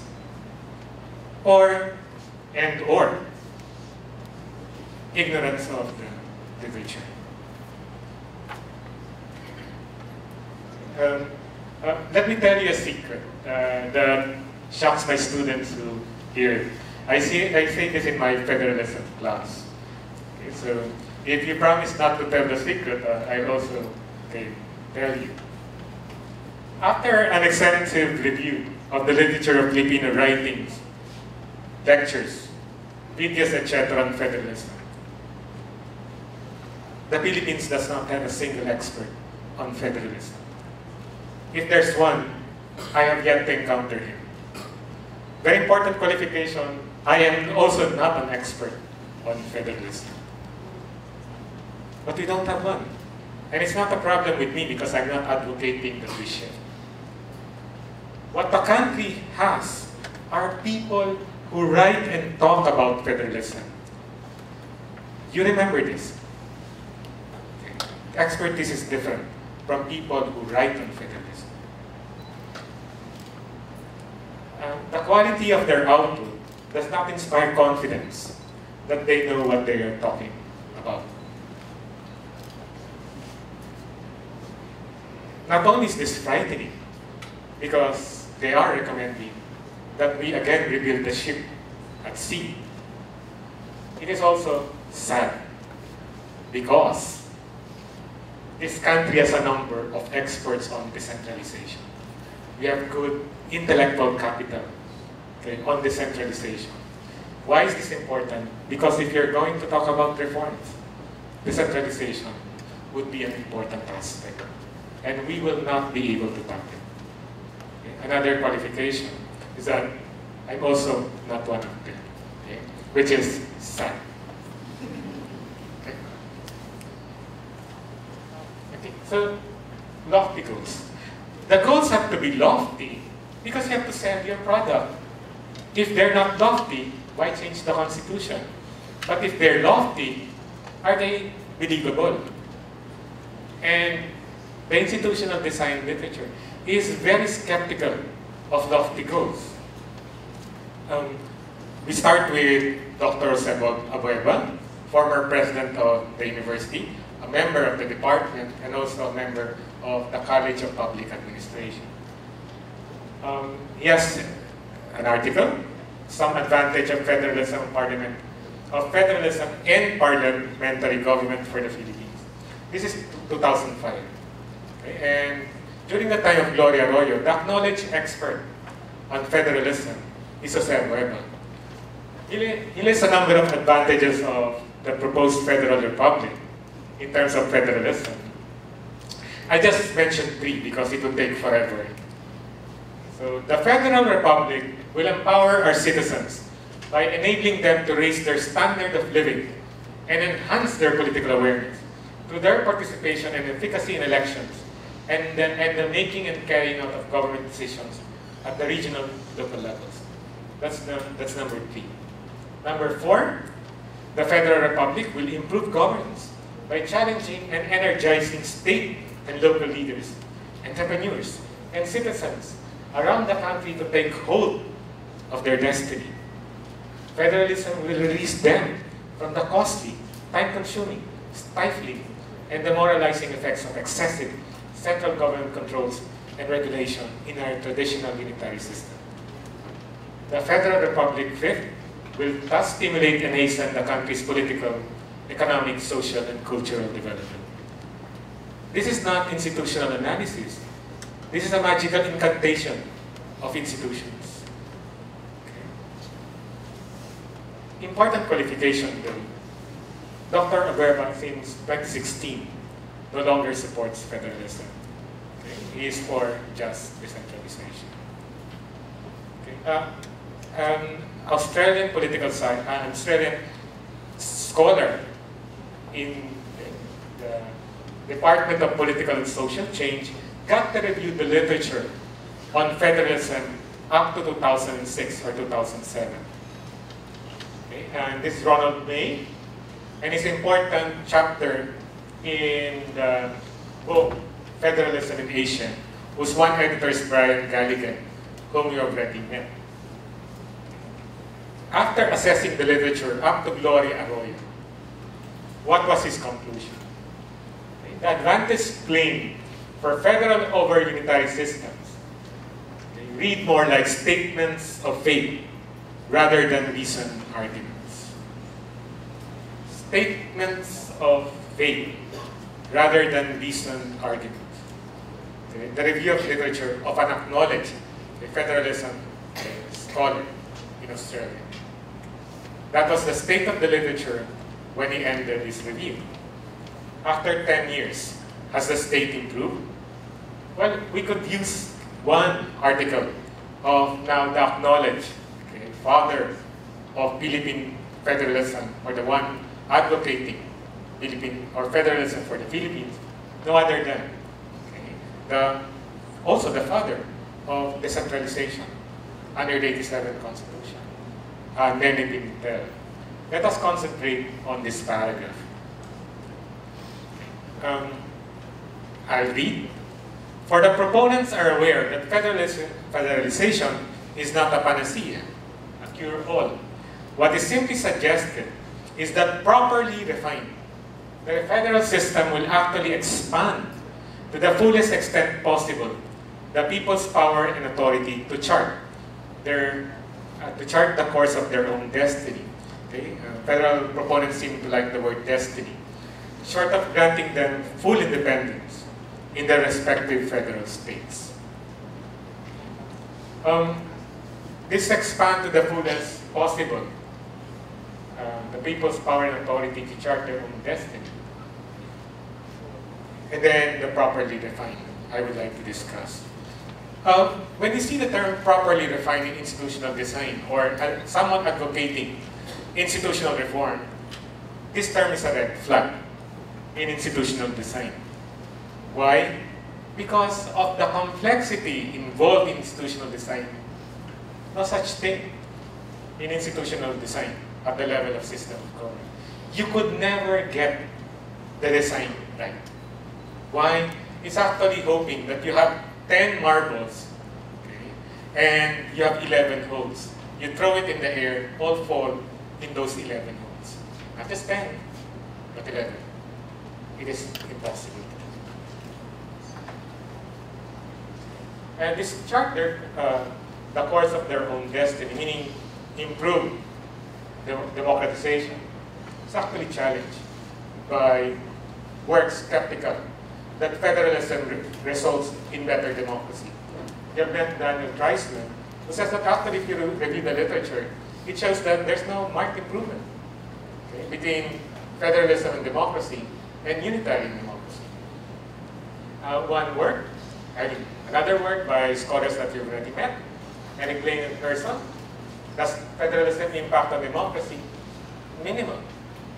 Minimal the same as unitarian. Then you have the stronger article by uh, Joe Foweraker, as well as Todd Landman, Constitutional Design and Democratic Performance. Here, on certain indicators, unitary systems do better on democratic performance. In terms of lofty goals still, okay, according to two German political scientists, uh, Croissant and Merkel, First one is Aurel Croissant, teaching in Heidelberg. The other is Wolfgang Merkel, who actually went here in the country. Uh, according to them, in this article, Political Party Formation in Presidential Parliamentary Systems, okay, um, these lofty goals exhibit hyper-rationality. What is hyper-rationality? It is the belief Okay? It is the mistaken belief that just because we change the rules, politicians' behaviors will also change. I, in, I call it in my classes uh, hyper-institutionalism, this belief of hyper-rationality, which is, for me, the exaggerated belief in institutional design. Institutional design is powerful, but in order for you for it to make for you, I mean to make it work for you, is that you should know its limit. Otherwise, it can be very dangerous okay? because you're fooling yourself. Okay? Uh, whom you already met, is an expert on electoral system. Okay? This is the word. According to him, excessive optimism in institutional design easily leads to excessive disillusionment afterwards. Okay. And this is now my argument. Undermining rather than deepening democracy. So you might actually, okay, get on everything in terms of institutional design. Like at times some proponents of federalism say. And get so disappointed with the outcome that you don't believe in democracy anymore. An authoritarian okay, populist leader come in and say, look, you, we have already tried different types or systems of democracy, let us do an authoritarian. Okay? And it is unsafe, highly risky. We'll discuss in cautionary insight. Okay. We now focus on the reform. In terms of reform, let's make it, let's make the verb okay, a noun and make it plural, reforms. By reforms, do not need constitutional revisions. They only involve legislation or if we need to make constitutional, uh, we need to touch on the Constitution, these are just constitutional amendments. Um, why is it preferred? More justifiable. And here we borrow two reform principles from Larry Diamond. Developing democracy. Uh, first, reform only in the face of manifest flaws. What does manifest mean? Manifest is, it's, al it's already clear to a number of people, to a number of groups. Meaning there's already a constituency backing the reforms. B, reform should correct those flaws, those flaws as specifically as possible. The last thing that you want is to over-reform. Second, less risky, up reforms are more reformable. If there are errors in the reform, then it is easier to return to the old setup. Or to push it further to the new setup through new legislation and or amendment. This is okay, piecemeal, piecemeal reforms that move to a more parliamentary-like direction. For example, party system reforms against turncoatism.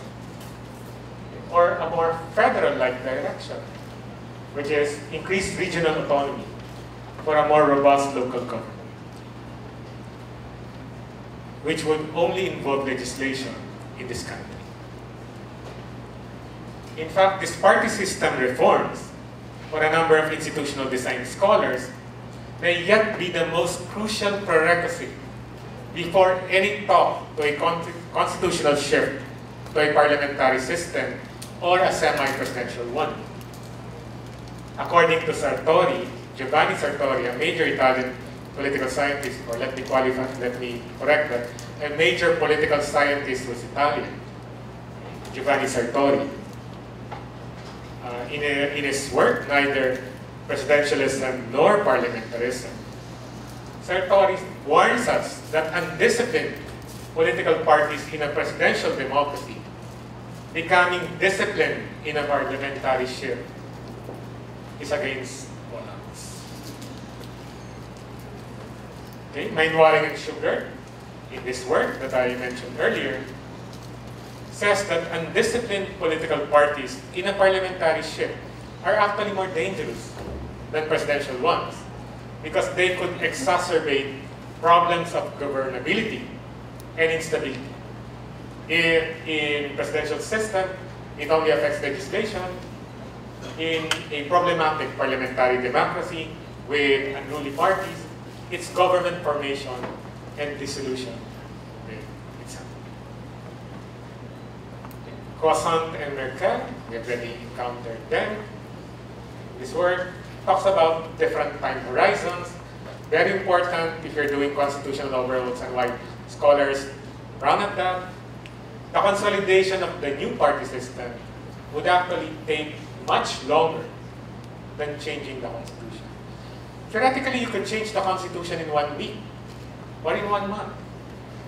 Okay? But to consolidate that party system can take years, can even take decades, such that okay, before the Constitution is consolidated, okay, the old practices have actually taken over in the interpretation of those treaties. Okay, so old fragmented, clientelistic, and irresponsible parties would not be able to create strong and stable governments. Okay? Then overholder systems are forms of government very different from messed up constitutional revisions involving system or form of government. Especially for shift to federalism. Because as we have discussed, we have the, the principle of one, the principle of constitutional intention, protecting its status. No federal country negotiated under democratic conditions has ever returned to unitary. once federal, under democratic conditions, you remain federal. The only ones that have become unitary are what, what one pro-federal scholar, Nancy Bermeo, calls as, in, in her article, Import of Institutions, as forced together federalism. So in that context, forced together either by war or a colonial power. Under a democratic constitution, you're federal, that's it. Uh, okay, for those who are still here, let's have number three. That's, this is the last that I will discuss in any depth. And as I promised, the last, the next three, very short. Third cautionary insight, eh, this is our stuff. Institutional design is political design. The politics in the institutional design. According to Adam Przeworski, in his monumental work, uh, Sustainable Democracy, together with okay, 19 others, these top scholars, there are no optimal democratic institutions. So let's imagine B as their possible optimal democratic institutions. According to Adam Przeworski et al., in the word sustainable democracy, no such thing. But, and even if there were, assuming for purposes of debate, there are there's such a thing as an optimal democratic institutions or optimal democratic institutions. So let's take this out. Okay. The distributive impact of institutional design means opposing political uh, forces will most likely not choose them. When you say distributive, it means, okay, who gets what? Who benefits? Who gets the pie? Who gets the lion's share? And, of course, also, who are left out? Distributive impact. So, A is where you are, B is where you want to go. If we could diagram this, when you talk of institutional design as political design, you'll never get it right it's always somewhere else. Because there are, institutional design is not a scholarly thing. Politicians are the ones who do this. B1, it could be B2, okay, or even B3. And okay, the swings would be uh, caused by opposing political forces. Okay. The most important actors are those who will write the Constitution. B1, B2, each institutional design outcome reflects the balance of power. And together, all of them would be the political economy of, institutional design or constitutional engineering okay, that we about.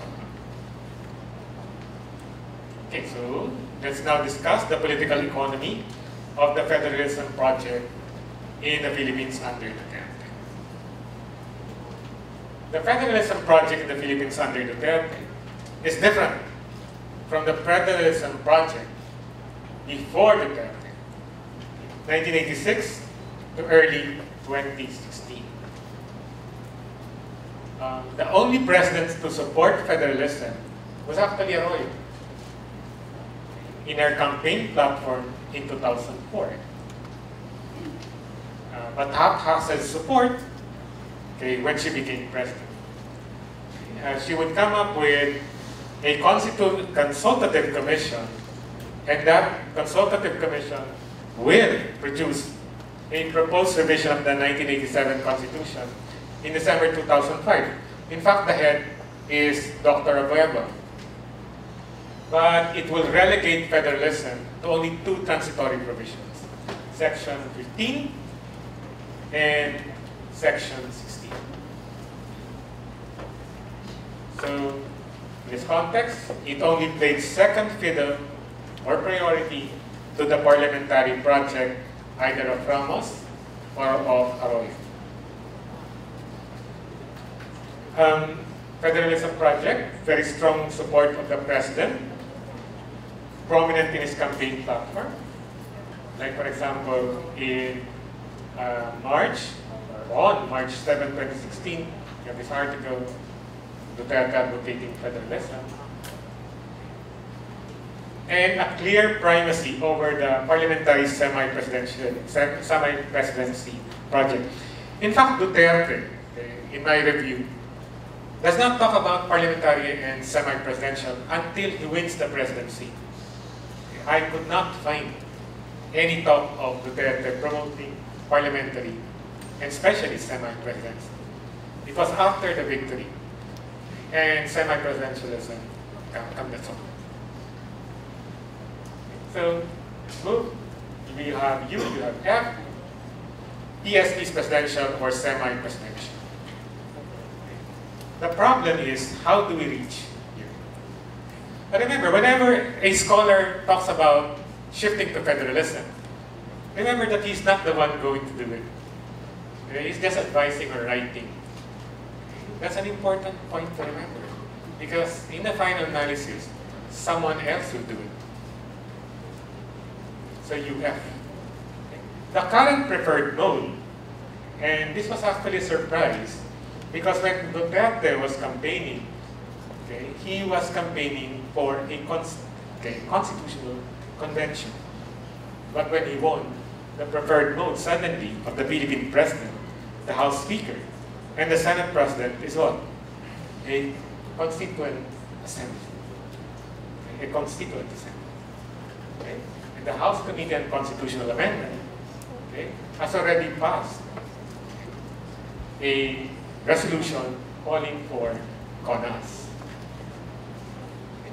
This constitu Constituent Assembly could be found in Article 17 of Amendments or Revisions, and it's found in number 1, section 1, wherein, okay, although not mentioned in the Constitution, okay, that's the Constituent Assembly.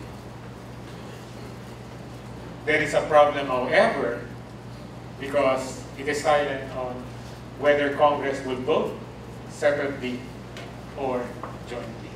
For something as important as how to amend the Constitution, and note, and note three-fourths, that's a, a very strong supermajority. That's why we have never changed our Constitution. That's why the pressure has built up. Because for 30 years now, not a single constitutional amendment has succeeded which is, which if you ask me, is not really good institutional design because the pressure is built up.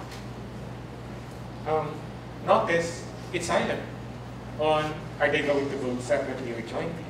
Uh, let me tell you the story on this, okay, about the Congress, okay, uh, not being, uh, or the Constitution not being clear whether separate or jointly.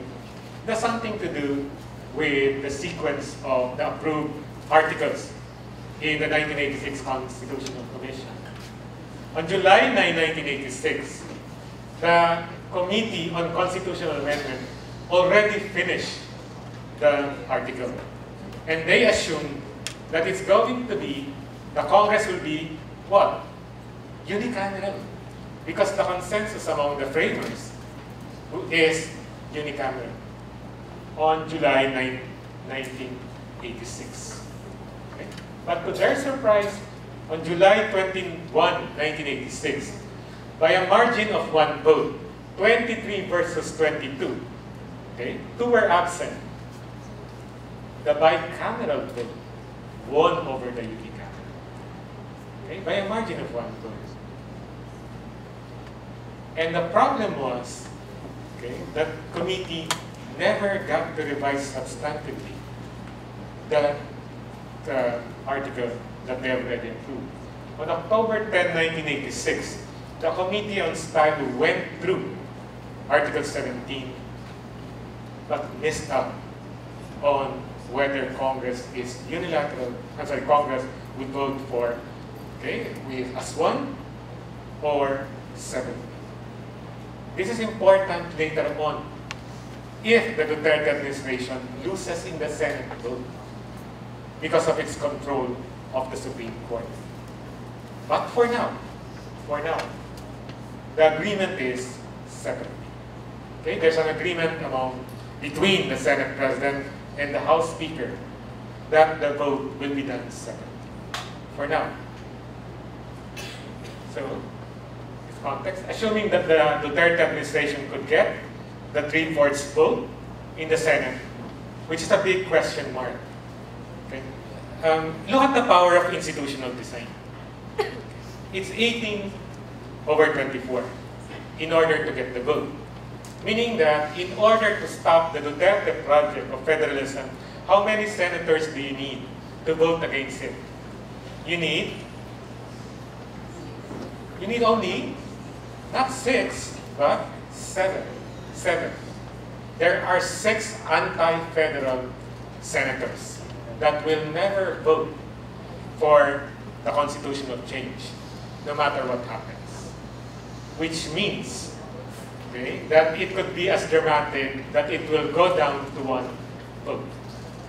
Because the institutional design is three-fourths of all members, one senator would hold hostage a country of 105 million votes. Why?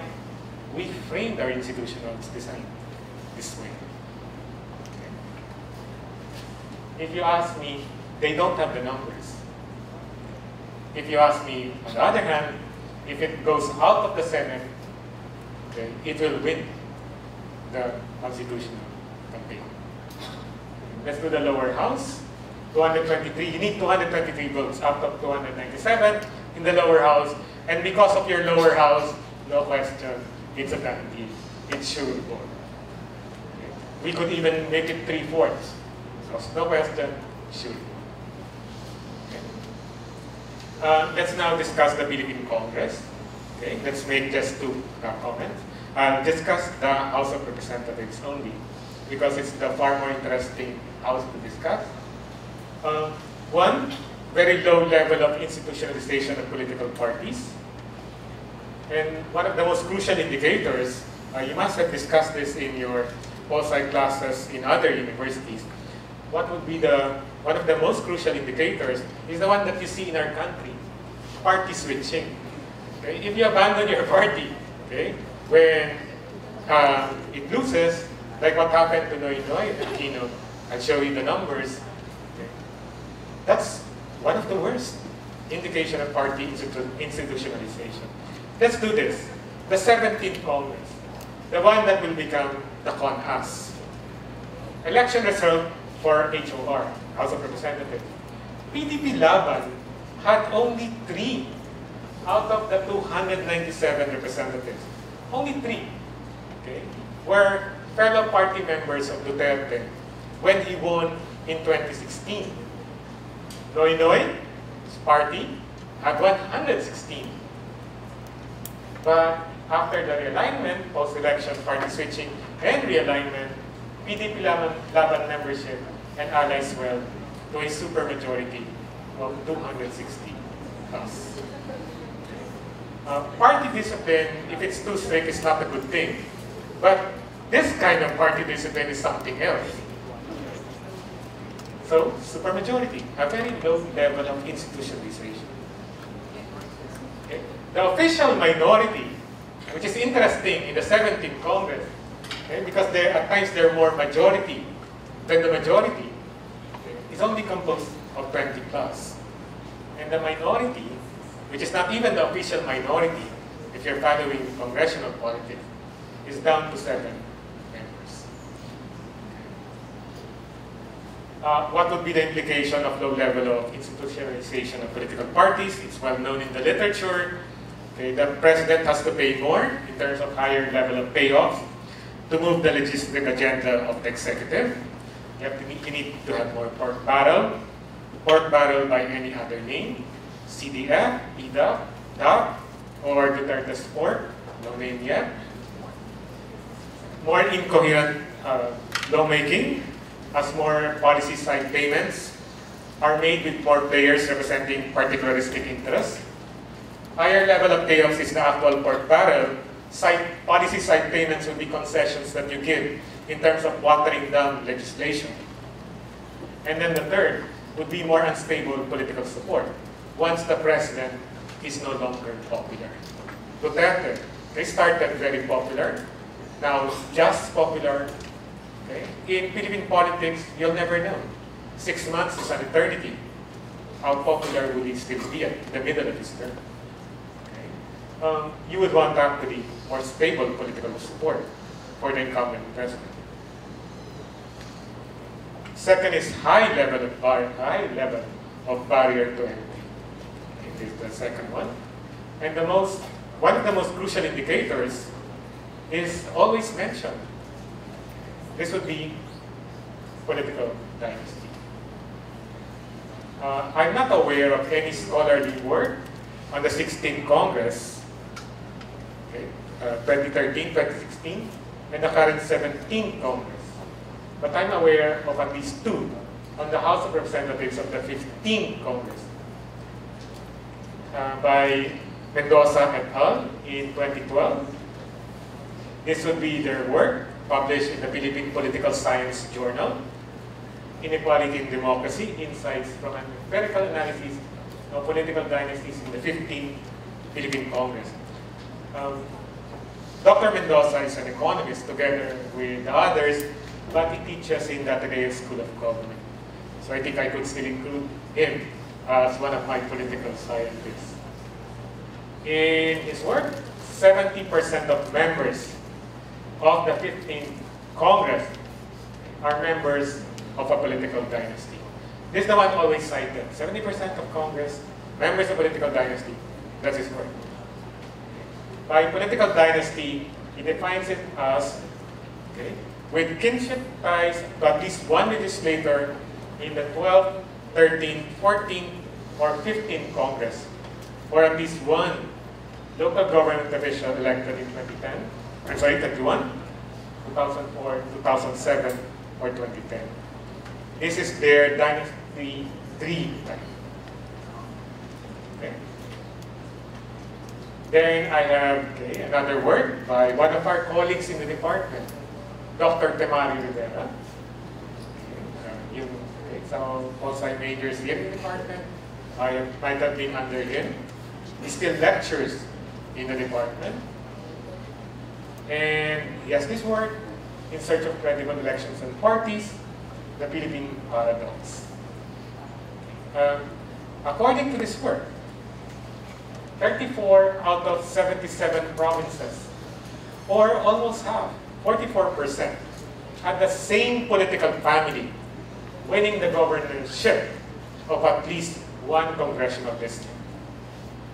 If the Mendoza work talked about the extensiveness of political dynasty, this one is the intensity of political dynasties because it talks of control in one province.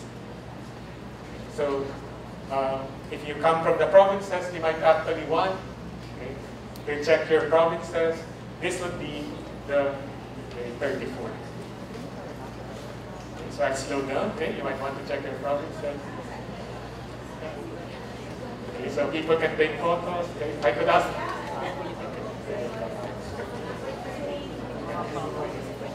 Actually, some provinces even have senators in them, making it a three-pronged relation. And it's of the provinces that have mayors. For example, Surely Ilocos Norte, uh, during that time, have Marcos, Iloilo Defensor would be one. I think four or five. Uh, Aurora, Angara Castillo, eh, Senator Angara. I'm sure you could do a better job than I'm doing now. Eh, I think a number. There's some, I, I, should ask Dr. Rivera, but I'll tell him his chart was a hit in my lecture. Uh, we have a media kit, okay, uh, if you want, okay, we can listen to. Good that people are checking their profits. Uh, don't memorize, there are too many, 34.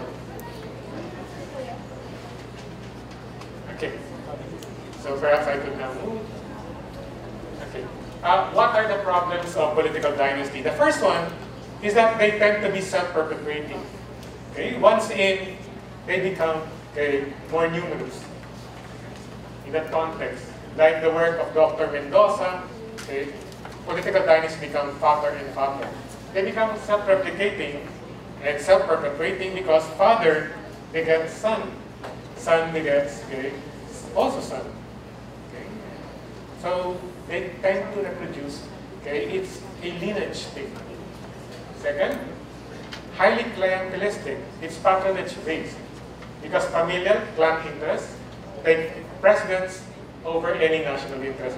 A choice between national interest and clan interest, the record is members of political dynasty choose their clan interests.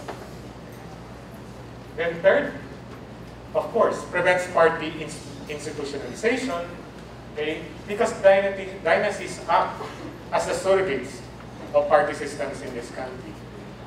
Okay, and it becomes a double whammy because as I've said, okay, clan politics okay, tend to re replicate endlessly.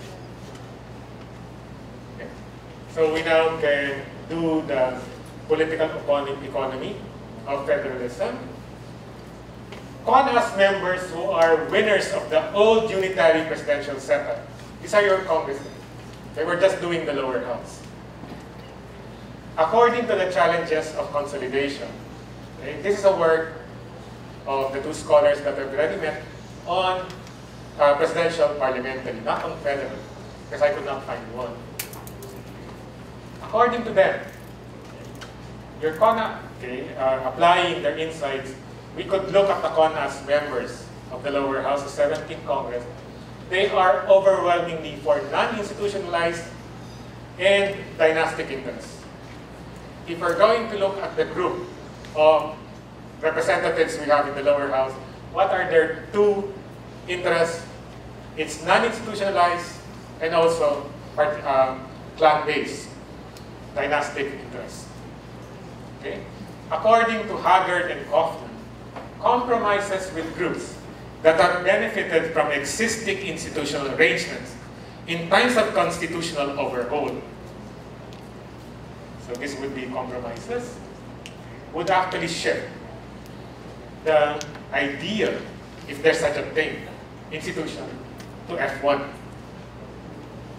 or PSP1 if we're going to apply it in the Philippines, parliamentary or semi-presidential. With the kind of CONAS you have, you're going to have a big distributive shift. Each institutional design outcome reflects the balance of power. And what is the balance of power? Are they for the reform of political dynasty or um, institutionalized uh, parties? No. So one can actually expect that the distributive swing would be more dramatic, that it would be actually further than the idea. But because of the complexity of the features involved in a constitutional overhaul, think institutional bundle and configuration, it may be possible, the scholars would say, that is F3. Very different from okay, what scholars actually would say ideal for the Philippines. And you end up with PSP3. And in this context, this is the warning of Haggard and Kaufman that in a really messed up constitutional overhaul, what you're going to have would be hybrid outcomes that leave lines of accountability unclear and combine the worst of both worlds. Um, this would be your FSP. Um, and one could think of them as institutional Frankenstein outcomes. To hope that you're going to have the best of both worlds okay, would be wishful thinking. It may be in between. But if you end up with this, that's the nightmare scenario. Now, we talk about institutional endogeneity. You would remember what we discussed, what in terms of what explains institutional choices when you write constitutions and performance data. Okay? Among the most important factors are your existing vested interests. And in the context of the Philippine federalism, these are your CONAS members who are benefiting from the old unitary presidential setup. It's as simple as this. If they're going to shift to federalism, they're going to accept their pound of flesh. Okay? They're not going to willingly go to federalism and lose their privileges. They're going to bring them with them in a new federal form. That's the point of political economy. Okay? These are not scholars doing things, or students, college students doing their term papers. Okay? Their most important concern is to remain in power. So that's why in the literature, there's a premium on democratic regime transitions. Why? Because the assumption is that you're making a transition, so therefore, there is some kind of shaking of this vested interest. There's some kind of displacement. So in that context, the displacement of the existing vested interest. But, okay, in our context, there's none. The worst, this is the worst case scenario of constitution making where Adam Przeworski in his, in his truly classic work, Democracy in the Market. For those going to graduate school and interested in democracy, I strongly recommend, recommend this classic work. Um, according to Adam Przeworski, when the relation of forces is known and uneven, the institutions are going to be custom-made for a particular person, a particular party, or a particular alliance. Okay? If we follow Adam Przeworski's argument, the constitution that they're going to have is going to reflect the supermajority's consent. According to Jon Elster, in his other work, Ways of Constitution Making, constitutions ought to be written by specially convened assemblies and not by, not by bodies that also serve as ordinary legislatures. Why? To reduce the scope of institutional interest. To reduce the scope that these people who are going to write the Constitution are, of course, going to think of their future. So in that context. We're almost done. Such that the political economy of the federalism project in the Duterte, uh, sorry, project under Duterte, okay, one could think of it okay, as looking at this, and, and the analogy is that the same in a driver with the brand new, with a brand new vehicle, okay, was always crash your old vehicle driving in Manila. You think that because he has a brand new vehicle, he could actually drive me safely from Manila to Sagada. All I could say is good luck. Okay, so we have three other cautionary insights, but I promise not to discuss them in any detail so that we could finish. Okay. I just want to mention this. Institutional design as misdesigned. Uh, remember this, guys. The road to hell is paved with the best of intention. Under the 87 Constitution, they tried to limit political dynasty by actually introducing term limits, okay, which we never had under the 35 Constitution, which was patterned after the American Constitution. Term limits for our local officials and okay, legislative officials. In case you don't know, the 35 did not have term limits. The, we followed the American. We only had term limits for the president. And in fact, the term limits for presidents was, um, the term limits for president were only introduced after the four terms of Franklin Delano Roosevelt, after the war. Before it was a gentleman's agreement, after two terms you don't run. FDR of the United States runs for four terms. After that, they introduced a constitutional amendment in terms of the term limits. Okay? The term limits were introduced under the 87 to limit political dynasty. Introduce, okay, democratized access. What happened? For most scholars, okay, the argument is it worsened political dynasty. Why? Because the institutional incentive is for the whole family to prepare to take over. So, institutional design can be misdesigned, strategically miscalculated. Strategic miscalculation of factors. Uh, just a fast note. Uh, term limits are a bad idea in institutional design. With presidents, you do term limits, usually two terms. Because presidents, they concentrate power. But with legislative, not a good idea because you penalize good legislators and local officials like Jesse Robredo. One could think that if he did not, there were no term limits, he would still be there in Naga, alive. Um, these are endpoints designed. It's at the end of the process. We don't really like that. What you want is starting gate principle, like electoral system. Who gets in? Once they're already in, it's problematic. You try to limit their tenure when they're in. Electoral system design is who gets in. That's far more powerful. Okay? And then, okay, the law of unintended consequences. Same thing, you thought that you're goody-goody, that you're a do-gooder, the center limits. No, it doesn't work that way. And oh, oh, oh, okay, what happened here? Institutional design as designless. Okay, I might have mis uh, given the wrong impression that you could actually control design in terms of balance of political forces. Not necessarily, and not okay, uh, in such a strong degree. When we say institutional design as designless, we have only discussed one to three in terms of the upstream quality of constitutional uh, writing. Upstream is actually the act of writing the Constitution. Think of it as a river. Upstream is when you write the Constitution. But it does not end there. Because I don't think you have met a Constitution that interpreted itself. There has to be other institutions that would interpret. Okay, Supreme Court, Congress that would enable all these provisions, and the President himself in terms of executive order. So that downstream quality, especially in the first years of the Constitution would be as important as the design.